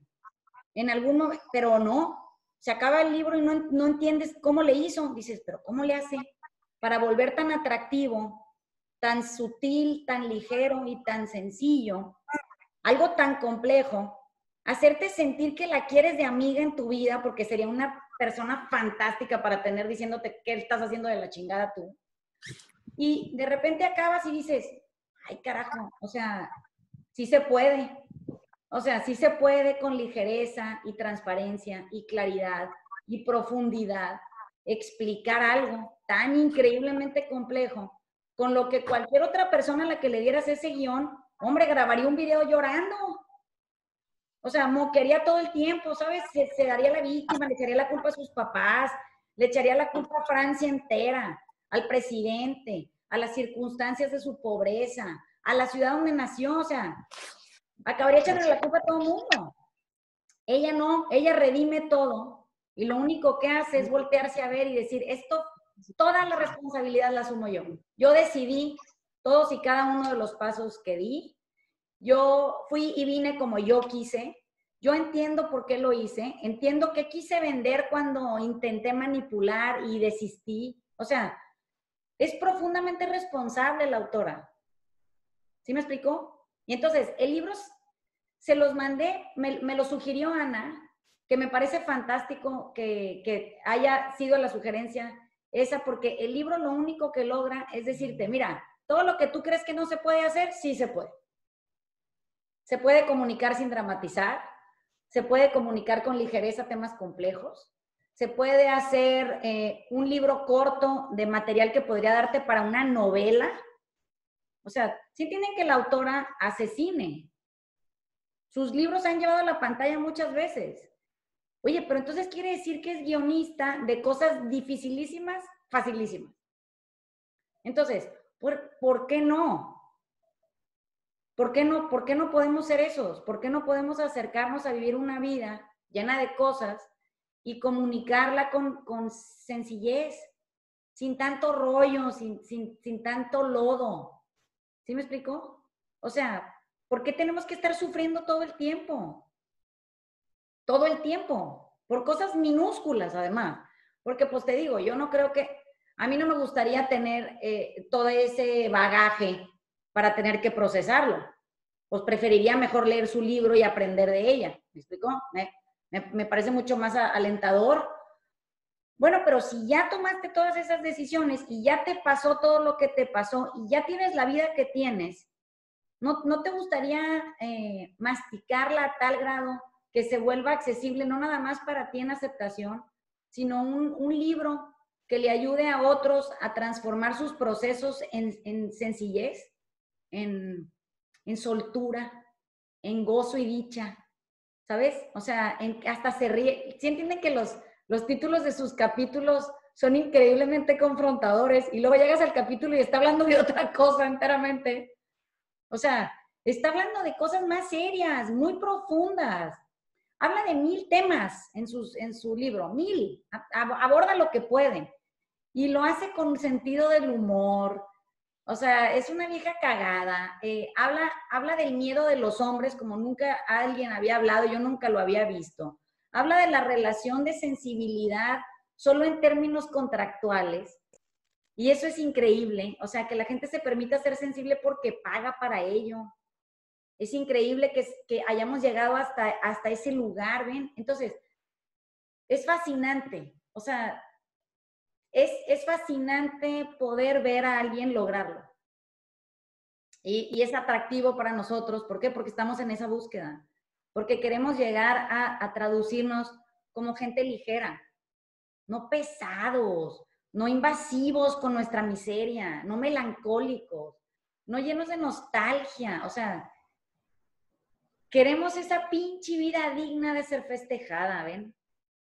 Una, vida llena de gozo y dicha, pero pues porque nos pasó todo y porque pudimos hacer con ello algo que nos ayudó a transformarnos, a crecer y a volvernos otro tipo de gente. Grata compañía, que me entiendan. No una pinche miseria de llanto y queja y observaciones juiciosas de la vida de los demás. O sea, a gusto. ¿Saben? Festejen, no vamos a durar vivos. Entonces, es más fácil llegar con ligereza a este lugar que venir arrastrando un camión de remordimiento y shame. Porque si entienden que ella pudo haber escrito un libro de pura de puro culpa y vergüenza. no mames, de, de 28 mil capítulos. Pero no, dice, ya, qué hueva, ya se ha hecho eso muchas veces.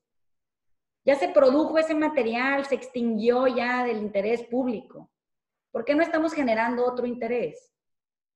¿Por qué no nos interesa averiguar cómo se hace con ligereza todo? ¿Cómo, cómo se llega a asumir una vida de frente? ¿Saben? No arrodillados, pidiendo perdón. ¿Por qué? Porque estás vivo. Pónganse a vivir no nos va a durar. Dijéramos, vamos, vamos a vivir en esta miseria los siguientes dos mil años. Bueno, pues ok. Igual y en una de esas te digo, bueno, pues sí, mira, ya, ya grábate llorando, ya desgrábate llorando, ya párate de cabeza, ya no, suicídate, revive. Pues sí, son dos mil años, puedes tener tiempo de hacer muchas cosas. No tenemos tanto. Y, y, y sí queremos ser felices. Bueno, el conducto a ser feliz no es ser pendejo. El conducto a ser feliz es ser consciente es encontrar un camino a la ligereza, a, la dicha y al gozo desde la aceptación rotunda de que estamos aquí todos en la misma ruta. Todo mundo siente culpa y vergüenza por algo que ha hecho. No lo quieren procesar ligero. No, no quieren abandonar su superioridad moral hasta puesta en ustedes. En decir, yo era incapaz de hacer una cosa así y acabé aquí, no entiendo cómo. Ay, no más. Ay, no mames, hombre. Mejor te preguntas, ¿a cuánto estaba el dólar? Porque en una de esas sí ese fue el problema, ¿eh? O sea, en una de esas sí el dólar estaba bien barato o estaba bien caro y pues yo tomé esta decisión por alguna razón extraña. Pues nunca sabe uno. Pero el problema es que extraen todos los factores de la realidad y solo dejan la la land en el cuento. No la la land, no la la. No, no hay. O sea, estamos batallando con cosas muy pendejas. Estamos batallando con búsqueda de aceptación, búsqueda de reconocimiento, de valía, de respeto y de amor, de gentes que no tienen, que están en la misma búsqueda que nosotros. ¿Sí entienden? Y entonces, ¿cómo creen que vamos a llegar ahí? Desde aquí, desde donde lo único que quiero es que alguien venga y lo haga por mí. Hombre, háganle como la Virginie, que curiosamente hasta se llama Virginia y todo es increíble. Pero háganle así, o sea, aviéntense a, a buscar aceptación, amor, reconocimiento, valía y respeto propio, de mí para mí. No de Andrea para mí, de mí para mí. Andrea lo encontrará de ella para ella. ¿Sí entienden? Pero en este shame eterno y en esta superioridad moral tan castrante, nos castigamos y por ende castigamos. Eso quiere decir que si no nos liberamos, no vamos a poder liberar a nadie. De nuestro juicio, nuestra opinión, nuestra mejor forma de ver la vida, la forma en la que se deberían de hacer las cosas. Lo dice muy bien en el libro, somos unos fascistas. O sea, creemos que tenemos la razón y la queremos imponer como una mejor forma de vida. Pero como titulares de qué somos o qué? ¿De, de qué que nos ha salido tan bien, caray? En comparación con quién somos 7.6 billones. ¿A cuántos conocen como para compararse en éxito? Bajémosle de huevos a la intensidad esta, de, querer educar, de querer aleccionar. Hay que dejar a la gente que escoja, que se equivoque, que, entienda qué le pasó, que lo procese y avance con dignidad. ¿Sí entienden? Que la recupere, que se fortalezca con ella. No que se culpe eternamente porque no estuvo a la altura. ¿De qué pinche circunstancia, me pregunto yo? ¿A la altura de quién? O sea, ¿quién sería el evaluador, pues? Un otro como tú perdido, en su propio la la land y la chingada. Dejen de, de pensar que estamos aquí para algo. Están aquí para ser felices, para entenderla, estar vivos, para abrazar su humanidad y dejarse sentirla para amar mucho a otros, para permitirse ser amados. Esa es la felicidad, es libre. Para eso estamos aquí, no estamos aquí para otra cosa. Entonces, entre más eh, rápido podamos, podamos procesar eh, indignidad, ¿sí entienden? Y soltarla. Más rápido vamos a llegar a nosotros de regreso de vuelta a mí, donde, donde a mí me gustaba verme en el espejo y me sentía la persona más feliz del mundo porque traía el cuerpo que me regalaron. Ahí, ese pinche lugar increíble. Pero todavía andamos batallando con que no, pues es que a mí me hubiera gustado estudiar ingeniería química. Ay, no mames. Mira, si te hubiera gustado estudiar ingeniería química, métete a estudiar ingeniería química. Ya hay carreras más interesantes. O sea, ya hay ingeniería mecatrónica, por ejemplo. A lo mejor esa te gusta más. Cuando tú estudiaste eso no había. O a lo mejor no, a lo mejor no quieres ser ingeniero. Bueno, y si sí, ¿por qué no intentas en lugar de la la land? O sea, ¿qué te detiene de vivir la vida que quieres? Pues tú. Y tu proceso de culpa y vergüenza. Entonces, pues, no sé, como que no tenemos mucho tiempo para invertir en esto de estar, aparte dándole vueltas al que, y, si, lo hago, ya nomás hazlo. Ya nomás hazlo. Luego ya si no sale, no importa, es otra cosa. Pero pues al final estar vivo es lo que cuenta. O sea, levantarse, abrir los ojos y decir, no mames, si amanecí, está cabrón. ¡Qué emoción! O sea, a mí igual y me toca otro atardecer hoy. Sí, igual y sí, igual y ahí está mi dosis de pornografía y luego ya sigo con la vida. Entonces, ¿quién más? Miren, yo, son siempre hablan los mismos, ¿eh? eh yo, yo quiero hablar, Laura. Sí. Yo estuve escuchando un podcast de, de Virginie. Sí. Justamente la, un, eh, la, la, persona que la entrevista hablan de que cómo es posible, es una crítica en donde hablan de cómo es posible que en un libro tan corto se crea que puede meter todo ese contenido. Porque sí puede. Sí, entonces, este, pues la critican y que es como un folleto. En realidad eh, lo dicen en un tono muy despectivo. Ajá. Pues entrevistan a, la entrevistan a ella y la presentadora eh, pregunta que, que cómo puede contar todas esas atrocidades tan ecuánime, tan ella, ella está, es una persona así súper seria, este, tranquila, con un tono de voz así como muy, muy este, uniforme todo el tiempo. Y entonces habla de que las prostitutas deberían legalizar, la legalización de la prostitución y la, la entrevistadora se pone así como muy roja y como que cómo se le ocurre decir esas cosas.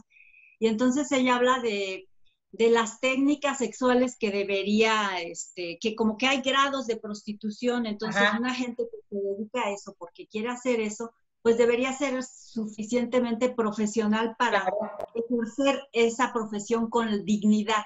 Sí, claro. Y entonces, obviamente, es muy mal, eh, tiene unas críticas terribles, todos los comentarios por su presentación, este, pues la acaban. Pero, este, entonces hay varios, leí nada más dos, eh, escuché dos entrevistas y, este, y sí me pareció pues sorprendente, a mí me sorprendió bastante. Es que lo que pasa es que entre, entre, más, entre más, por eso la clase que sigue del martes se llama la superioridad moral, es precisamente eso, ¿no? Cuando la entrevistadora, en esta entrevista, eh, está hablando de ella, la entrevistadora está hablando de ella y su miedo, está hablando de ella y su desazón, con que haya mujeres que se atrevan a vivir su sexualidad abiertamente. Cuando hay mujeres que incluso se atreven a cobrar por venderla, o sea, a la entrevistadora le inquieta mucho, pero es muy curioso porque Virginia habla de esas mujeres en el libro. El que tú leíste, ahí dice, dice, bueno, pues es que están aterradas, o sea, uno porque se asumen diferentes a nosotros. Y por otro lado, porque creen que ellas, porque no son prostitutas de calle, no son prostitutas. Entonces, yo una vez les puse en el taller un ejemplo de esa escena donde estaba yo, donde llegó la, novia guapísima de un, de un amigo de, la mesa, este, que, acababa de, separarse y divorciarse, vayan ustedes a saber, y entonces traía una acompañante nueva. Y era una chava espectacularmente espectacular.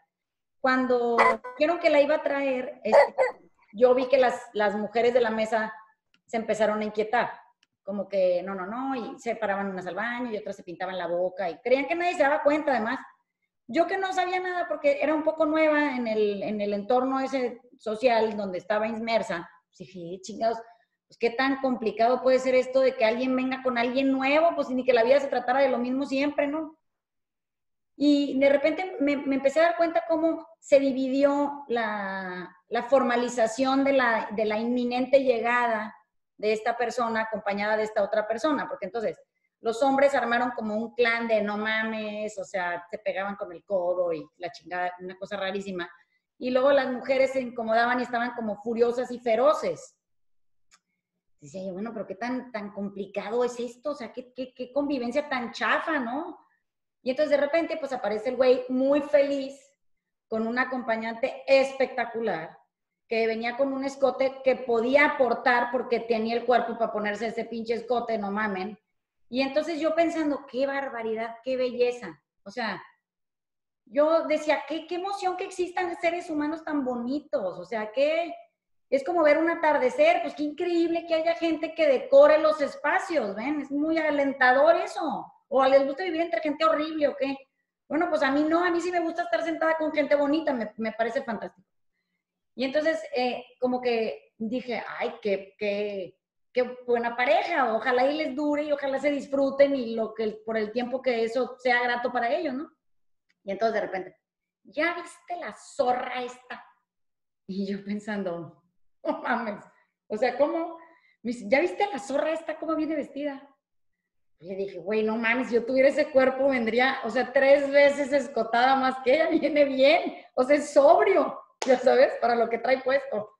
Y entonces, como que empecé a darme cuenta qué cómico se volvía, porque era como, como una, como una película de, del comportamiento humano, eh, donde hay entre superioridad moral, infantilismo, una, un feminismo desbordado, pero al mismo tiempo una, un deseo sexual que se, que se respira en la mesa, o sea, una cosa muy, muy aplastante. Y entonces yo estaba disfrutando porque decía, qué cosa tan fantástica, ver cómo por un evento aislado, totalmente común, una cena, no sé si me explico, o sea, la gente iba a sentarse a comer, no es como que, que iba a pasar en el restaurante, no, pues en sus cabezas ya estaban en la la todos, ¿sí me explico? O sea, los hombres que estaban casados con las viejas juiciosas, que, claramente las tenían hasta la madre, ya están en la la pensando que un igual ellos pueden conseguir una de estas. Las señoritas están inquietas porque ellas nunca van a tener el cuerpo de la señorita que ya mide un metro ochenta y siete, pues es imposible, es como si yo que mido unos sesenta, no, pues no me dan ni las piernas, o sea, yo las, no me puedo vestir como ella porque pues las botas me llegarían al cuello, no sé cómo explicarles. Entonces, pues no, no es lo mío, pero eso no me quita del, del lugar de poder apreciarlo. ¿Sí me explicó? ¿Qué emoción por ella? ¿Qué emoción? Bueno, no, aquí no había emoción por nadie y entonces todo el mundo estaba peleando. Entonces de repente se hace la mesa en dos, claramente se juntan los del codo, de la chingada, así, a platicar entre ellos. Las señoras que se están quejando de la señorita la que no incluyen, que claramente se da cuenta que no está incluida, porque nadie le habla y nadie le pregunta y nadie nada. Y entonces de repente pues se siente muy incómoda y, con el, en el cenan y se lleva al güey. Le dice, oye, yo ya me voy, yo no me voy a quedar aquí, qué incómoda cena, yo no quiero sentirme aquí fuera de lugar y, y claramente estoy incomodando a todo el mundo, ya me quiero. Entonces el güey, pues muy felizmente, yo supongo que, prefería estar con ellas solas que con nosotros en esa pinche mesa jodida. Y entonces de repente pienso, bueno, ok, eh, ¿qué va a pasar? Porque ahora se van a dedicar a hablar de la zorra. Entonces empieza el tema de la zorra, tú las zorras, todos zorras, pinche vieja zorra, es que no es posible que no le hayan dicho, ah, es tu mejor amigo, que no sé qué. Entonces yo pienso, bueno, pero a ver, aquí la pregunta no es si ella es zorro o no, es cómo zorreas tú. Esa es la pregunta. ¿Tú cómo zorreas? Porque tú también zorreas, pero nomás que hay que definir cómo, porque claramente no zorreas como zorrea ella, según tú. Ella, de acuerdo a tu superioridad moral, zorrea con un escote. ¿Tú cómo zorreas? Con tu ingenuidad, con, con tu cara de, este, ¿qué? De, de intelectualoide, ¿Sorreas con tu dinero? ¿Con qué sorrea? Todo el mundo sorrea con algo. Entonces, lo raro es que no vayamos ahí nunca. O sea, ¿por qué no podemos en la mesa cuando yo emito el juicio y digo, la zorra esta, tipo la entrevistadora con Virginie, ¿por qué la entrevistadora no es tan valiente como para juzgarla y luego hacerse la pregunta a ella? ¿Sí me explicó? Decir, ok, ya dije que qué ligera, que, que, que cómo es posible que hable de estos temas con tanta superficialidad, que son tan increíblemente, no nada más emblemáticos, pero escandalosos, ¿qué temas yo, a, qué temas me dirijo yo con esa misma superficialidad cuando para otra gente puede ser muy escandaloso? ¿Dónde hago yo eso? Esa es la pregunta. ¿Dónde hago yo eso y cómo hago yo eso? Y entonces la superioridad moral se extingue y entramos a un plano de igualdad. Sí, yo también soy zorra, nomás que cómo lo hago yo. Porque pues si tuviera ese cuerpo, zorrearía con la chichis, no mamen. Bueno, pero si no lo tengo, ¿con qué zorreo yo? Porque me tengo que desarrollar una técnica, ¿o qué? O, voy a hacer como que a mí no me pasa. Bueno, entonces el problema es que como no tenemos en nosotros el recurso, porque nunca lo hemos leído, porque no nos hemos acercado a él, porque no lo hemos visto puesto en ningún lado, no tenemos el recurso de confrontarnos con, tanta honestidad y preguntarnos las preguntas difíciles. Bueno, está bien, hay zorras en el mundo. Yo como zorreo, no soy la excepción a la regla, ay, qué, qué cagados, ¿no? Que ahora somos la excepción a la regla. ¿De la vida de quién? Es nomás cuestión de querer buscar, porque podríamos escribir un libro, cada quien de lo suyo, ¿saben? ¿Cómo miento yo? ¿Cómo sorreo yo? ¿Cómo agredo yo? ¿Cómo juzgo yo? ¿Cómo desinvito yo? ¿Cómo soy hostil yo? ¿Cómo todo yo como yo? Pero no, o sea, no nos podemos relacionar ni con Hitler porque nunca nos preguntaríamos cómo sometería yo. Oye, pues nomás voltea a ver a tu casa, eres fascista o nazi en tu propia casa con tus hijos. ¿A poco no te habías dado cuenta? Tú también puedes ser Hitler, a huevo que sí. Puedes descabezar a todo el mundo, puedes hacerlos creer que son una raza superior porque son tus hijos. Sí puedes. Que no se mezclen con otra raza, les puedes hasta escoger la pareja, gente como nosotros. Ay, no mames. Y se, se asumen lejanos. Somos lo mismo. Somos lo mismo y no nos queremos dar cuenta porque entonces nos tendríamos que corregir, ¿ven? O sea, tendríamos la única consigna de repararnos, porque es que estamos haciendo mucho daño siendo esa versión nuestra. Como hay una multiplicidad de formas y, aproximaciones, y a nosotros nomás nos gusta la la la, pues, y entonces, ¿cómo nos corregimos? Si no nos vemos. No, no, no vemos al otro, ¿eh? A ese lo vemos muy claramente, lo podemos hasta juzgar. No nos corregimos porque nosotros no nos vemos a nosotros mismos. Entonces, llega un momento en donde se empieza a volver absurdo esto de existir de esa manera, ¿eh? Se vuelve hostil, se vuelve degradante, se vuelve muy indigno y la gente empieza a perder interés en nuestra miseria. Da hueva. Da hueva hacer estos. Aproximarnos a una realidad distinta, distinta, requiere de nosotros mucho pinche valor. Porque nos vamos a tener que voltear a ver y nos vamos a tener que juzgar muy severamente para poder encontrar dónde estamos fallando y repararlo. ¿Sí entienden? Y quien les diga, no, no te juzgues, perdónate, no mames. Tengo haciendo esa mamada toda una vida y me está saliendo muy mal.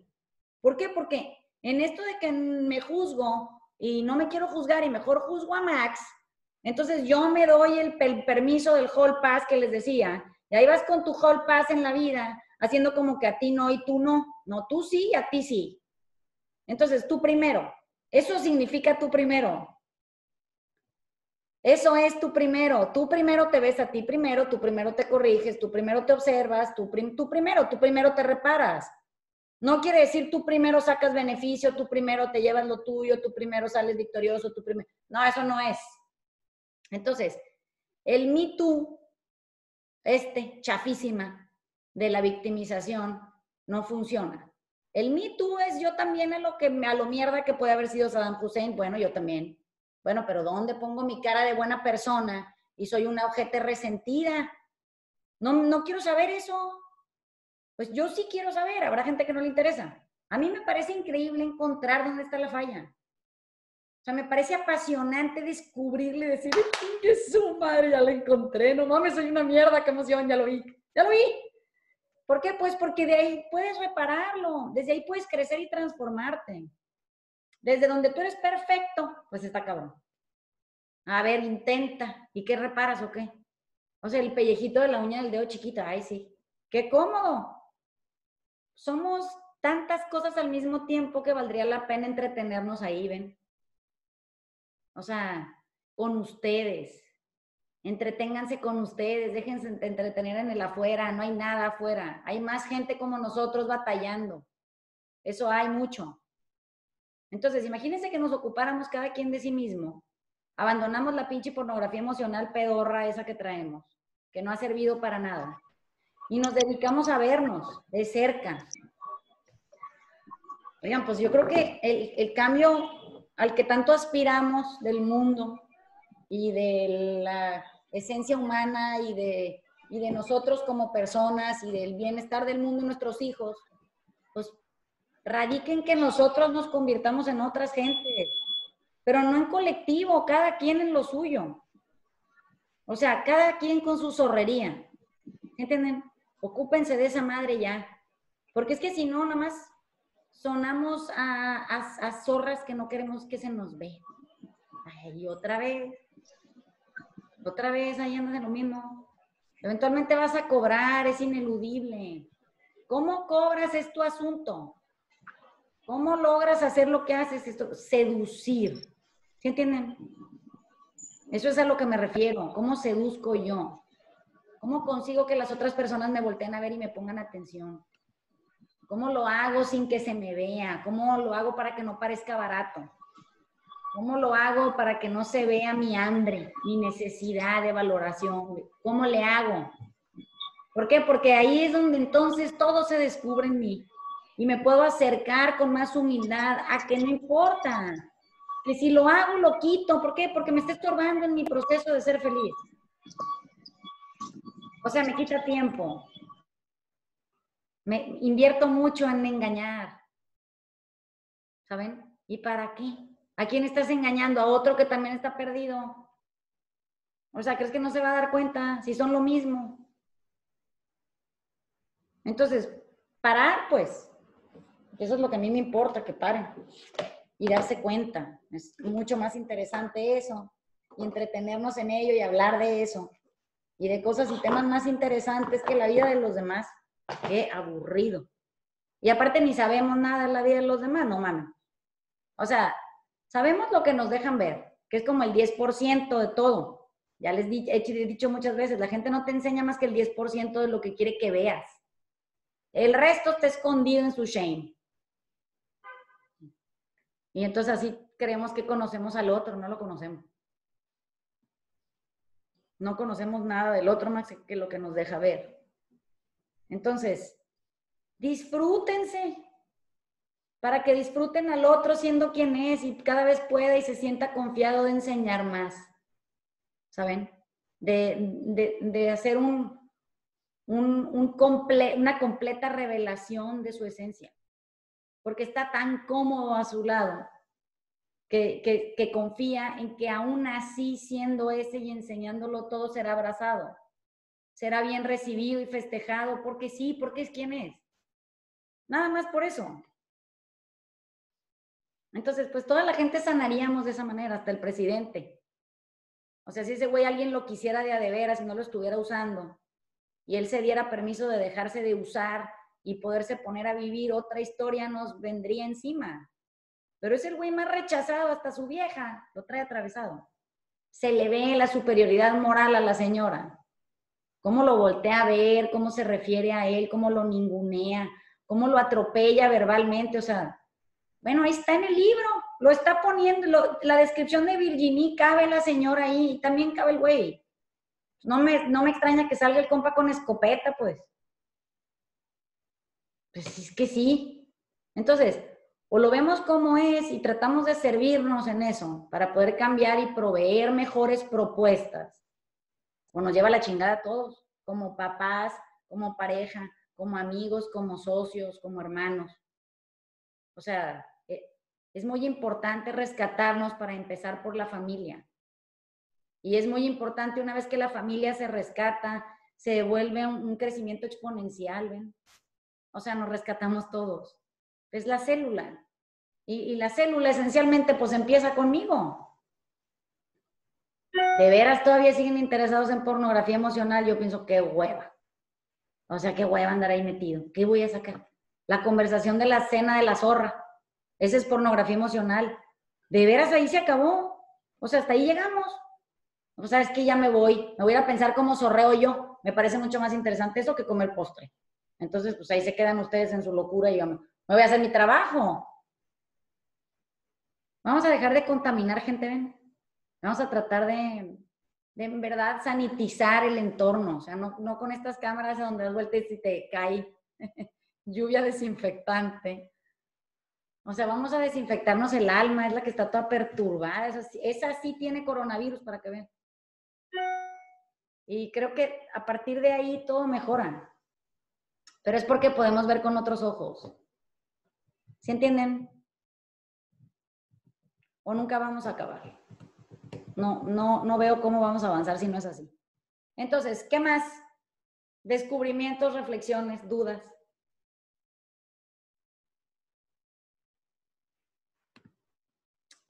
Hay mucho silencio. Vanessa. Dando tantas cosas. Hola. Hola, sí, dígame usted. A mí al principio se me hizo muy fácil ver la pornografía emocional en los demás. Ajá. En mi entorno, en mi casa. Eh, y traté de expresarlo, no me cayó, no me salió bien, y tuve que regresar a, a, los puntos que dices tú, fíjate en ti misma, pero se me hacía difícil porque no me cachaba, me cachaba ya después de actuar. Entonces, como que me cansé y mandé toda la fregada y tuve que empezar de nuevo. Sí. Hay una clase en el, en el taller que la puedes ver, se llama el diagrama del tobogán. En la página, que, en la página del taller te metes a verla. Eh, está en el módulo 1. Entonces le picas ahí donde dice clases, módulo 1 y te buscas el diagrama del tobogán.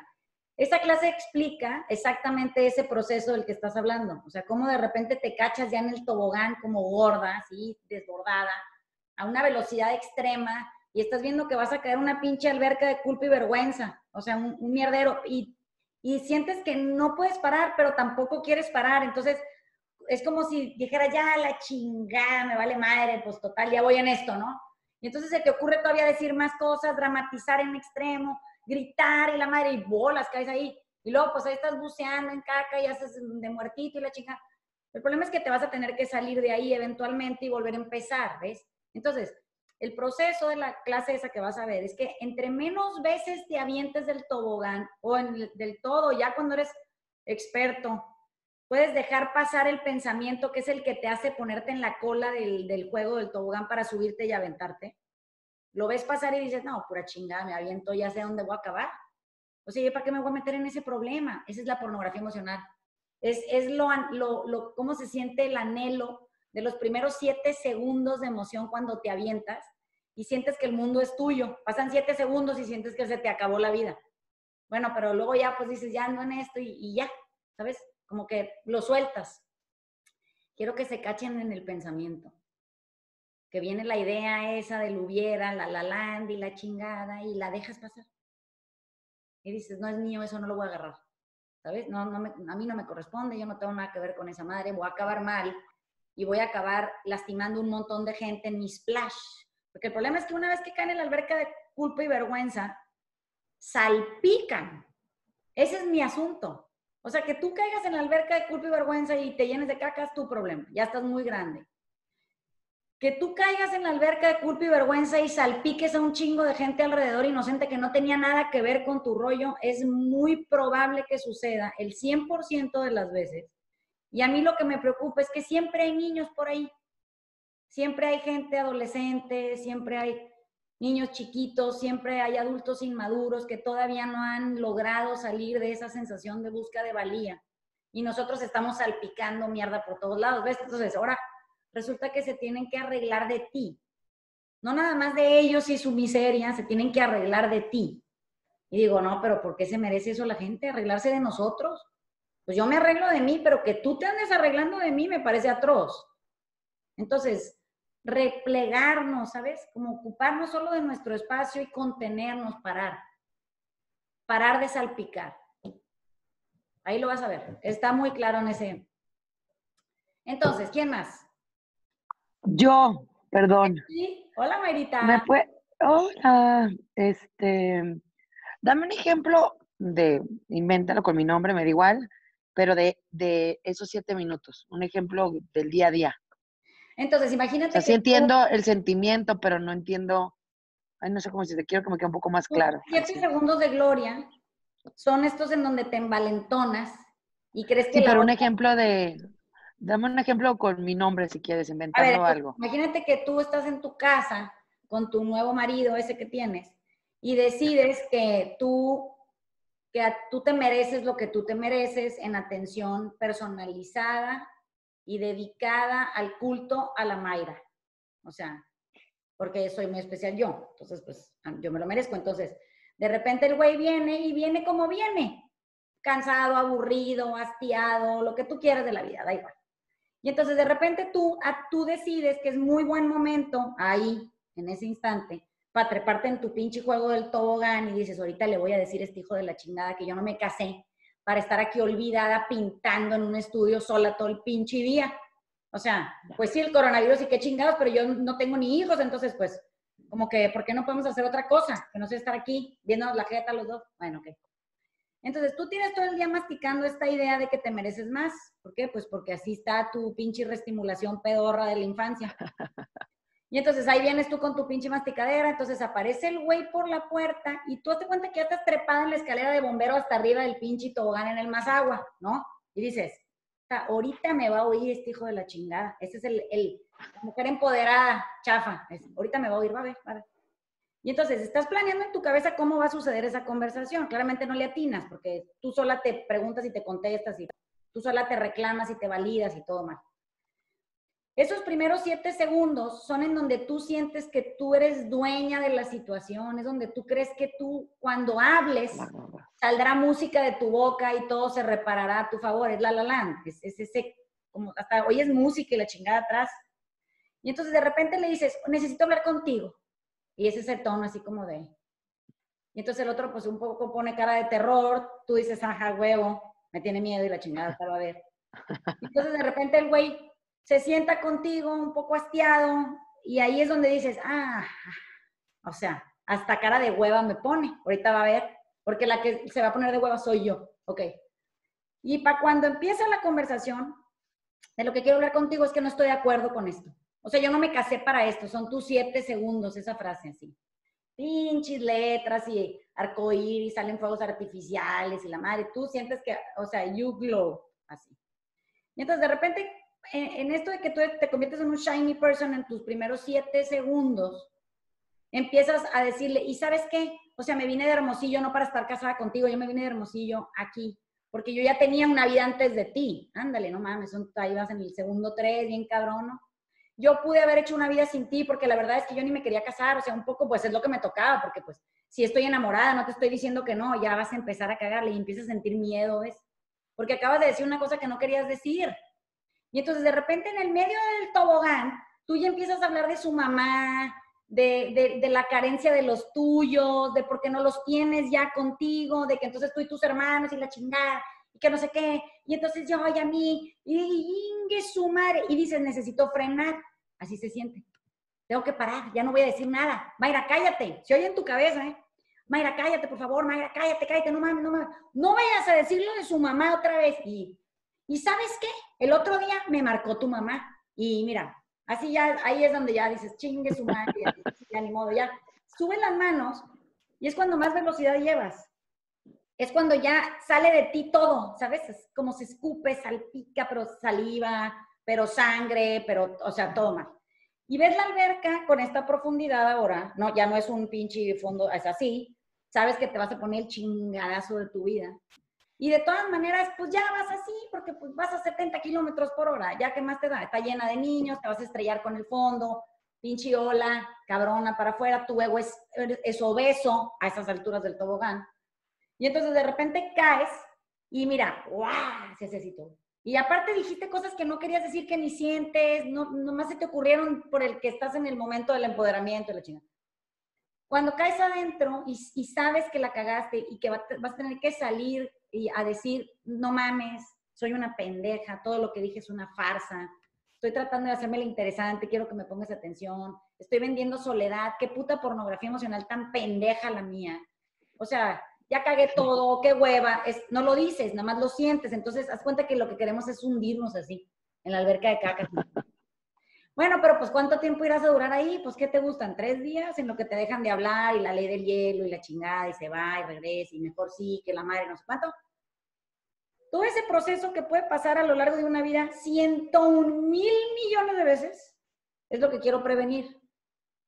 Es que quiero que te pase una vez, veas todo tu proceso del labor, del tobogán, el splash, la caca, la madre, y digas, yo esto ya no me lo vuelvo a aventar, ya lo vi, ya sé qué es, ya sé cómo funciona, ya me vi yo, ya entendí, es mi pensamiento, no tiene nada que ver con la realidad. Soy yo reestimulada.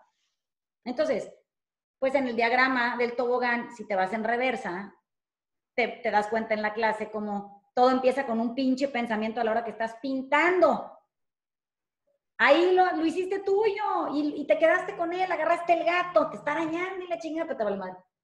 Pinche gato te tiene toda tú no es mío, es mío. No es tuyo, déjalo, déjalo te va a dejar hecha pedazos. Entonces, cuando por fin lo sueltas y te conviertes en esa versión tuya increíble, pues entonces estamos todos salvados, ¿ves? ¿Por qué? Porque ya ese tobogán ya no es un, no es un juego para ti. Te quitaste el VIP pass de víctima, de yo primero no hago cola y la chingada, y, te, puedes eh, dedicar a vivir una vida en plenitud, por fin. ¿Sí me explicó? En amor, en aceptación rotunda del presente, de tus decisiones en él. Responsable de tu vida, ¿sabes? Ese es, son tus siete segundos peligrosísimos, donde crees que tú eres dueña del mundo y de tus opiniones y ahí es donde la superioridad moral se hace enorme, ¿ves? Justo ahí arriba del tobogán, ahí en ese pedacito. Eh, muchas gracias, muchas gracias. Espérame, préstame, préstame esa mi vida. Mira, te voy a dar. Ah, y dice Inés que sí, sí hay que si nos Sí, se pueden hacer lo que ustedes quieran. Son las vacaciones más felices del mundo. A ver, llévense esto y me dicen si falta, ¿ok? Bueno, suben. Bueno, mira. Ay, sí, déjale no Bueno, besitos, bye. Adiós, bye.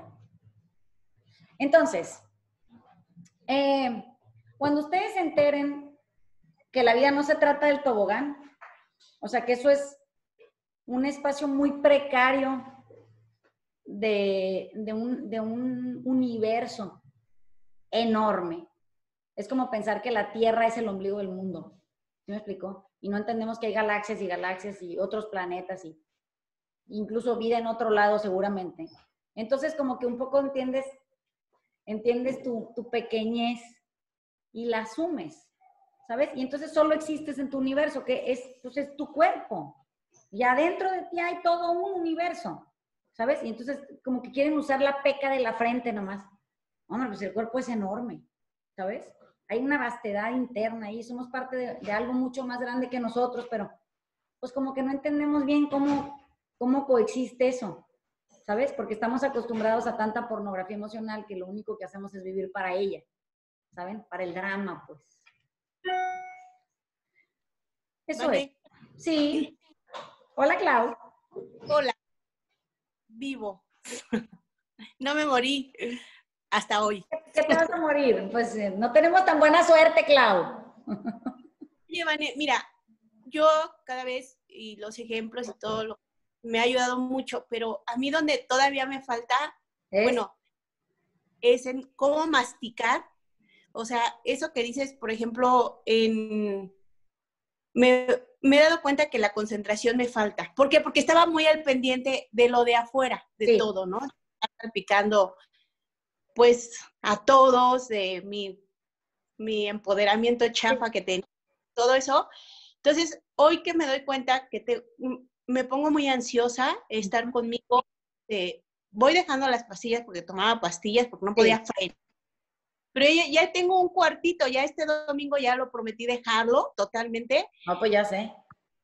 Me aislé, o sea, por ejemplo, ahorita una de mis niñas que está haciendo una guarida y está cavando un hoyo que lo va a hacer abajo de la tierra y dije, ¿cómo? Pero no, hoy dije que lo haga. Como lo que acabas de decir, hagan lo que quieran, están en vacaciones, bueno, no sé qué va a pasar, ¿no? Pero ya no quiero intervenir, tampoco quiero ser pendejo, como lo dijiste, ¿no? Hace ratito pero tampoco quiero estar chingando a los demás. Pero a mí me produce ansiedad. Hago ejercicio, estoy en dieta para no subir de peso, porque ya estaba subiendo. Pero el estar conmigo, el conectarme conmigo, todo lo que es la frente, lo que es la pornografía, que esto me cayó así, muy entendible, me duele, estoy ansiosa, no puedo leer, estoy leyendo por párrafos, este, sí he podido traducir unas, he pedido apoyo para que me traduzcan es, pero me, me, siento muy ansiosa. Ayer que iba con mi, con mi hija y con mis nietos y, y mis hijas, este, decían algo y yo quería como mentárselas, o sea, sigue enojada y, y, ellas riéndose, o sea, ellos riéndose, tiraron el helado, y yo así, oye, pero trataba de sonreír por fuera, ¿no? es que lo que pasa es que, mira, tienes que entender una cosa, hay, un, hay una adicción real física a las pastillas y tú, tú estás en, intentando llegar a la sobriedad del consumo. Entonces, quien te diga que esto que tú sientes hoy es algo totalmente distinto a lo que se siente cuando a un pinche cabrón borracho le quitan la bebida, no sabe de lo que está haciendo.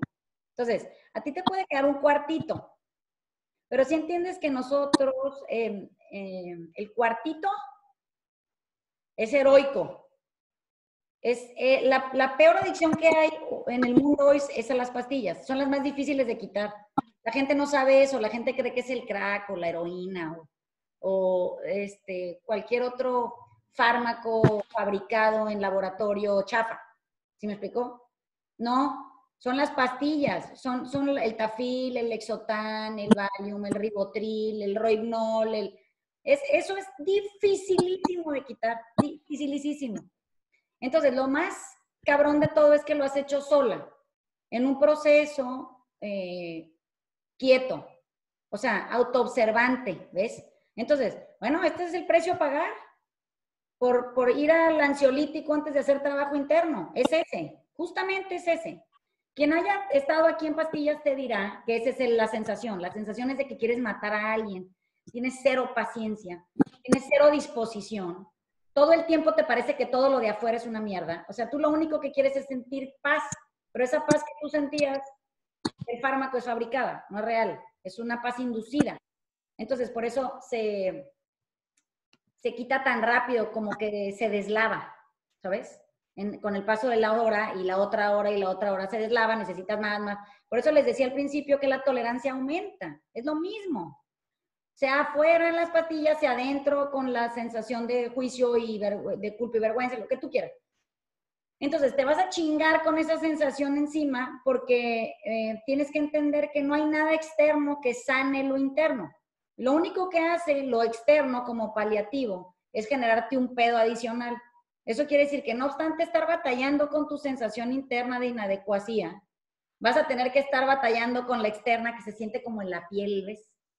Así se siente. Se siente como que te ceriza, como que sientes que te tocan y, como que te molesta, ¿sabes? Como es muy inquietante.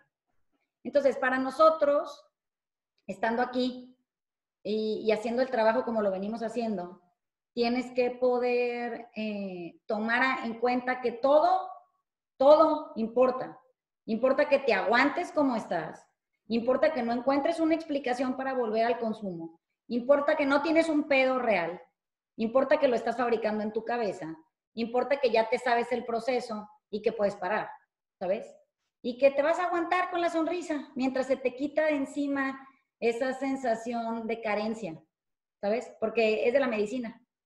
Así funciona el químico, es terrible. Entonces, cuando les digo, dejen de estarse tomando chingaderas, no es porque yo sea como, como muy básica en mis conceptos de medicamentos, sino porque he visto el, mal que genera. Cuando uno no está bien de adentro, no debería estar tomando medicina, ¿saben? Para ese tipo de cosas. ¿Por qué? Porque primero vas a, a tratarlo primero y después si eso no funciona y tú tienes un desbalance químico, entonces puedes pedir ayuda adicional, pero el tuyo no es un desbalance químico. El tuyo es locura colectiva típica de la gorda en tobogán. Es lo mismo de siempre. ¿Saben? Entonces, pues primero vamos a quitar lo más básico de encima y si todavía te queda el registro de una sensación de desbalance, bueno, pues entonces vamos al doctor. Pero lo que pasa es que todo el mundo se quiere curar con medicina de algo que no tiene. Entonces se genera un problema extra, ¿sí lo ves? O sea, suma a, un, estado de, falta de quietud.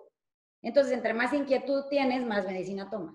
Y entre más inquietud tienes, más medicina tomas. Y si vas al doctor y le dices, oiga, es que como que no se me quita la angustia, te dice, ah, es que sabe que tómese otro cuartito, media. Ay, de veras, no queremos internar al señor para que también entienda de las gordas en tobogán y él siendo gorda en tobogán y todo, pues si una vez deja de recetar mierda. Pero la mayoría de los procesos adictivos son igualitos a este. ¿Sabes? Se generan desde la inconsciencia y desde la falta del trabajo personal. Entonces, ¿te aguantas? Pues ni modo. Entre que cavan hoyos y tiran helado, tú te organizas con tu cabeza. Porque ahí es donde está el, el verdadero problema, es ese. Todo lo demás no importa. ¿Sabes? Entonces, ¿quién más? ¿Dudas? ¡Ay, qué feliz! Bueno, a ver, entonces, la semana que entra, el martes. Yo. A ver, sí, ¿quién? Yo. Ah, Priscila, sí. Ajá, es que yo me caché como cuando, eh, como que le doy cuerda cuando a mi pornografía emocional cuando dejo de escuchar en una plática de otra persona. ¿Qué quiero decir?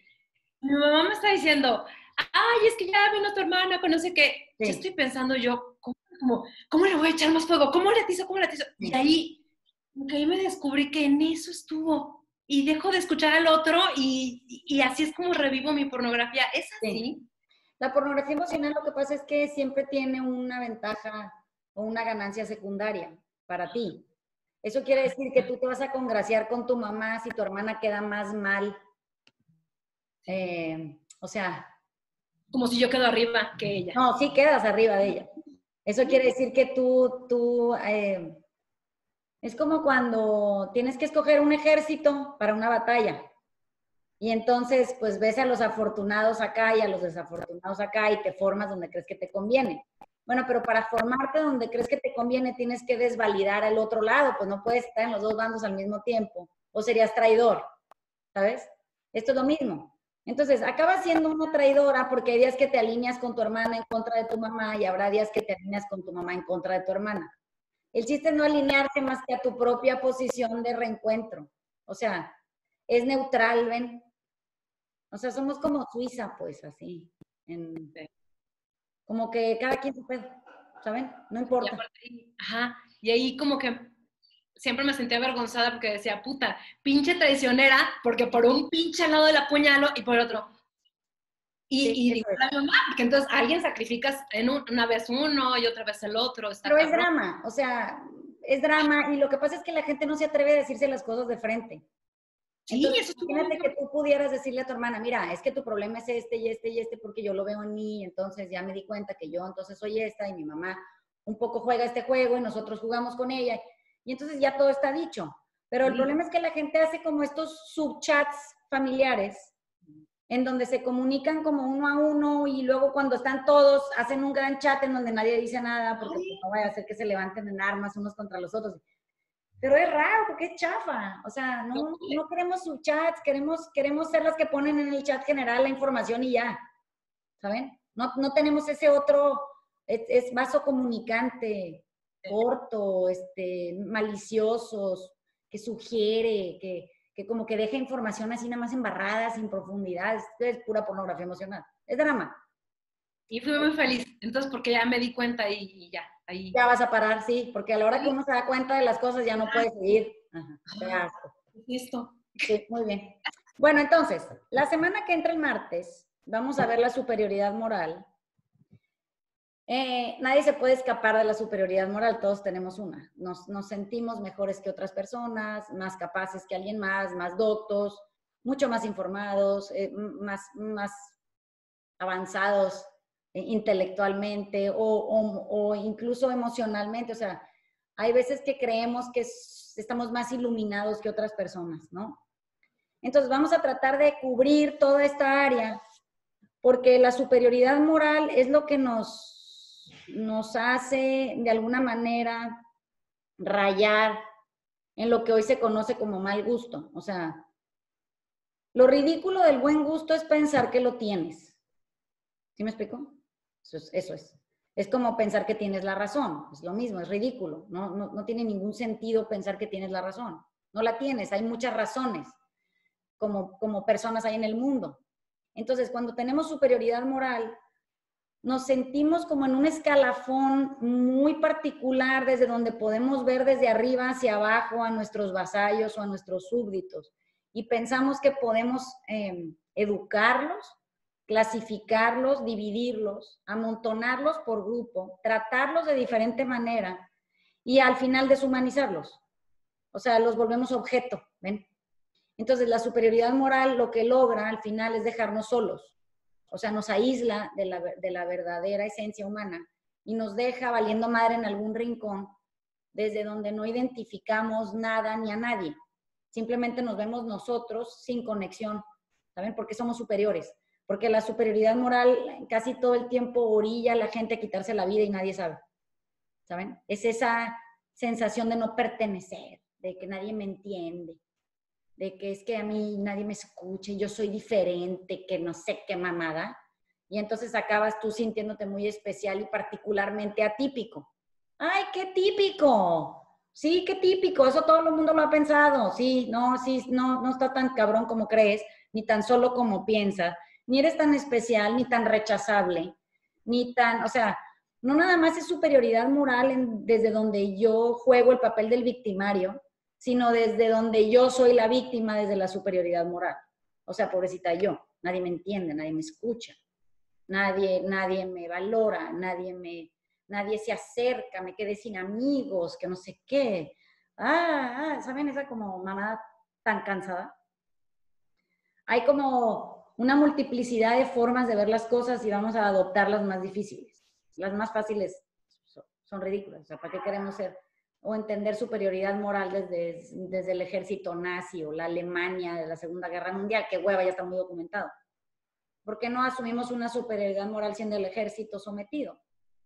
¿Qué habrá pasado con esa superioridad moral que los hizo obedecer pensando que igual y en una de esas no pertenecían que pertenecieron? Que se, se volvieron parte de algo de pronto porque sentían que no eran parte de nada. Ay, que no mamen, que se hagan responsables, ¿ven? Es como esta cosa tan chiquita que nadie toca. Son lugares a donde nadie va porque suena desalmado, no es desalmado, es profundamente revelador. Darnos cuenta cómo jugamos un papel doble y cuando jugamos a la víctima hacemos más daño. ¿Saben? Porque cuando somos víctimas nos organizamos bien cabrón. Entonces, eso, somos muchos. ¿Saben? Entonces, es una superioridad moral muy diferente muy poco documentada. Entonces, esa es la que vamos a explorar la semana que entra, a ver qué tal nos va. Vamos a, tomar la teoría igual que siempre y les mando la tarea ese mismo día martes para que el viernes tengamos ya como cubierto más material. Quien traiga tarea trazada, hágala, porque hay muchos ejemplos que van a surgir de todo el material que hemos estado revisando, ¿saben? O igual y nos regresamos a, al tema de la película 1 y de pronto lo conectamos con el libro, que de pronto el documental, que de pronto el cuento, que de, o sea, todo es lo mismo y está puesto de manera seccionada para que después de este, de este mes ustedes puedan conectarlo y volverlo un todo. ¿Saben? Es comprensión profunda. Es cuando agarras un puntito aquí, con un puntito acá y un puntito acá y pues hacer ese, ese dibujo, ese trazo interno. Entonces, eh, eso nos da más amplitud en la percepción de la vida. Entonces, ¿tienen dudas? Bueno, nos vemos la semana que entra. Este, sí, ¿alguien dijo algo? Sí, Alejandra. Ah, sí, a ver. Vane, ¿y qué se hace con la intolerancia al drama? Digo, suficiente es trabajar y observar el drama propio como para si el entorno es muy dramático y se vuelve ¿Dónde está la compasión, tolerancia, paciencia? Esa es la superioridad moral de la que vamos a hablar. O sea, tú no eres nadie para tolerar el drama de nadie. O sea, eh, les he dicho muchas veces, y normalmente mi, a, mi, a mi público de la comunidad judía le llama la atención porque siempre digo que por qué chingados le pusieron a ese museo de memoria y tolerancia. O sea, la palabra tolerancia es muy arrogante, es muy subversiva, es una, está, posicionando gente arriba de otra y por eso la toleras. Como si la aguantaras porque te da lástima, ¿ven? Se debería llamar el Museo de la Aceptación, así se debería llamar. ¿saben? No queremos ni memoria ni tolerancia, ya que hueva vivir así, es la la land. No, eso no nos interesa, nos interesa aceptarnos entre nosotros para podernos amar profundamente como somos. Entonces, no tienes que tolerar a nadie nunca. ¿Sí me explico? Tolerar es, es ese lugar muy ridículo en donde de pronto acabamos arriba de alguien porque lo aguantamos, como, como si nosotros fuéramos gente excepcional o ejemplar en nuestro comportamiento. ¿Saben? Entonces, acompañar a una persona que hace drama es muy diferente a tolerarla. Acompañarles, estar presente para que pueda hacer su berrinche y terminarlo en paz. ¿Sí me explico? Y en el momento en el que se deja de sentir juzgado por hacerlo, para. Porque simplemente lo quieres así como es, ¿saben? O sea que, pues, sí, pues así está la cosa ahorita, igual y no va a durar tampoco porque va a pasar. El drama no dura tanto tiempo, no es tan largo. Nadie puede durar en, un drama 24 horas. Si me explico, como que come, hace pipí, se baña, ve su celular, contesta un mensaje, se lava los dientes, vuelve al refrigerador. O sea, el drama no dura tanto, ¿ven? Pero como que ustedes lo prolongan en su cabeza, es un evento aislado que alargan, como si fuera maleable y lo jalan así como chicle. No es, es nuestra percepción del momento. Entonces, es la clase que entra, vas a ver, te va, te va a servir muy bien. piensa en esto que te digo y vas a ver qué rápido eh, volvemos a un plano de humildad en donde entendemos que no somos nadie, pues. Y ahora imagínate ser gente que tolera a otra gente como si, ¿quiénes somos nosotros para andar tolerando a alguien? O sea, ¿quién me dijo que yo tengo ese lugar diseñado en donde gente, ¿no? Entonces, sí, van a ver. Van a acabar este proceso del mes y van a decir, ah, qué compasivo me he vuelto, me he vuelto bien buena gente. me caí bien todo mundo, es todo fantástico, pinche vida chingona. Bueno, sí, porque ya no te atoras tanto con el otro, ¿saben? O sea, lo, lo pueden acompañar y verlo con compasión y seguir el camino. Es que la vida es muy grata, sí, pero es que se atoran, pues que van y se estrellan ahí con el cristal de 9 milímetros, se quedan todos apendejados. Y luego quieren que el cristal no esté. No, sí está. Tienes que aprender a vivir con que allá hay un vidrio, pues ni modo, ya no pasa nada. No, es que yo quiero que lo quiten. Me hubiera gustado cómo se vería Messi, pero es que la la la no existe. Así es Max, ya. ¿Saben? Así es Max. Lo quieres querer así, está muy bien. No lo quieres querer así, quítate de su camino porque en la medida en que lo invalidas, lo erosionas. Y si lo erosionas, se vuelve insensible y si se vuelve insensible, erosiona a otra gente y acabamos otra vez donde estamos desde el principio. ¿Saben? Erosionando por haber sido erosionados. Qué huevo.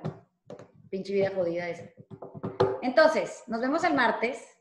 Eh, acaben la tarea porque es mucha, pero necesito que la hagan o se van a quedar pendejos, pues. ¿Sí entienden? No se trata de que vengan a ver quién hizo la tarea y oigan cómo es, es como cuando ibas y te decían que leías el libro llegabas a la clase y le preguntabas al que sí leía, ¿y qué acabó? Para que cuando te hicieran el examen de lectura pasaras. No, no se trata de eso, se trata de volvernos más capaces, no menos capaces.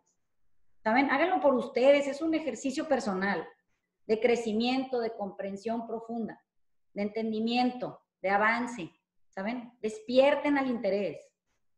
Háganlo porque se aman, no porque tienen que quedar bien con nadie. Es por amor propio que hace uno las cosas así. Entonces, ¿tienen dudas?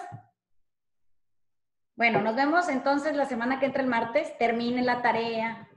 Se les ve cuando no hacen la pinche tarea, pues. O sea, estoy viéndolos en las fotitos esas, las pocas gentes valientes que se ponen en la pantalla. Y, de repente estoy hablando de algo y cuando hacen, ah, sí, que es que sí hicieron la tarea. Cuando ponen cara de... Es que quién sabe de qué estoy hablando y entonces se van a poner a tratar de acordarse a ver si saben qué chingado capítulo viene eso o de qué libro estoy hablando. Son cortitos, las cosas que les mando a hacer son chiquitas. No, no tienen que leer libros de cuatro mil hojas. Entonces, quiéranse pues, es, que es un poco el proceso este de aprender es por amor. Bueno, entonces nos vemos la semana que entra. Sean felices el fin de semana. Nos vemos el martes y hagan la tarea, hagan la tarea, hagan la tarea. Les mando besos. Gracias.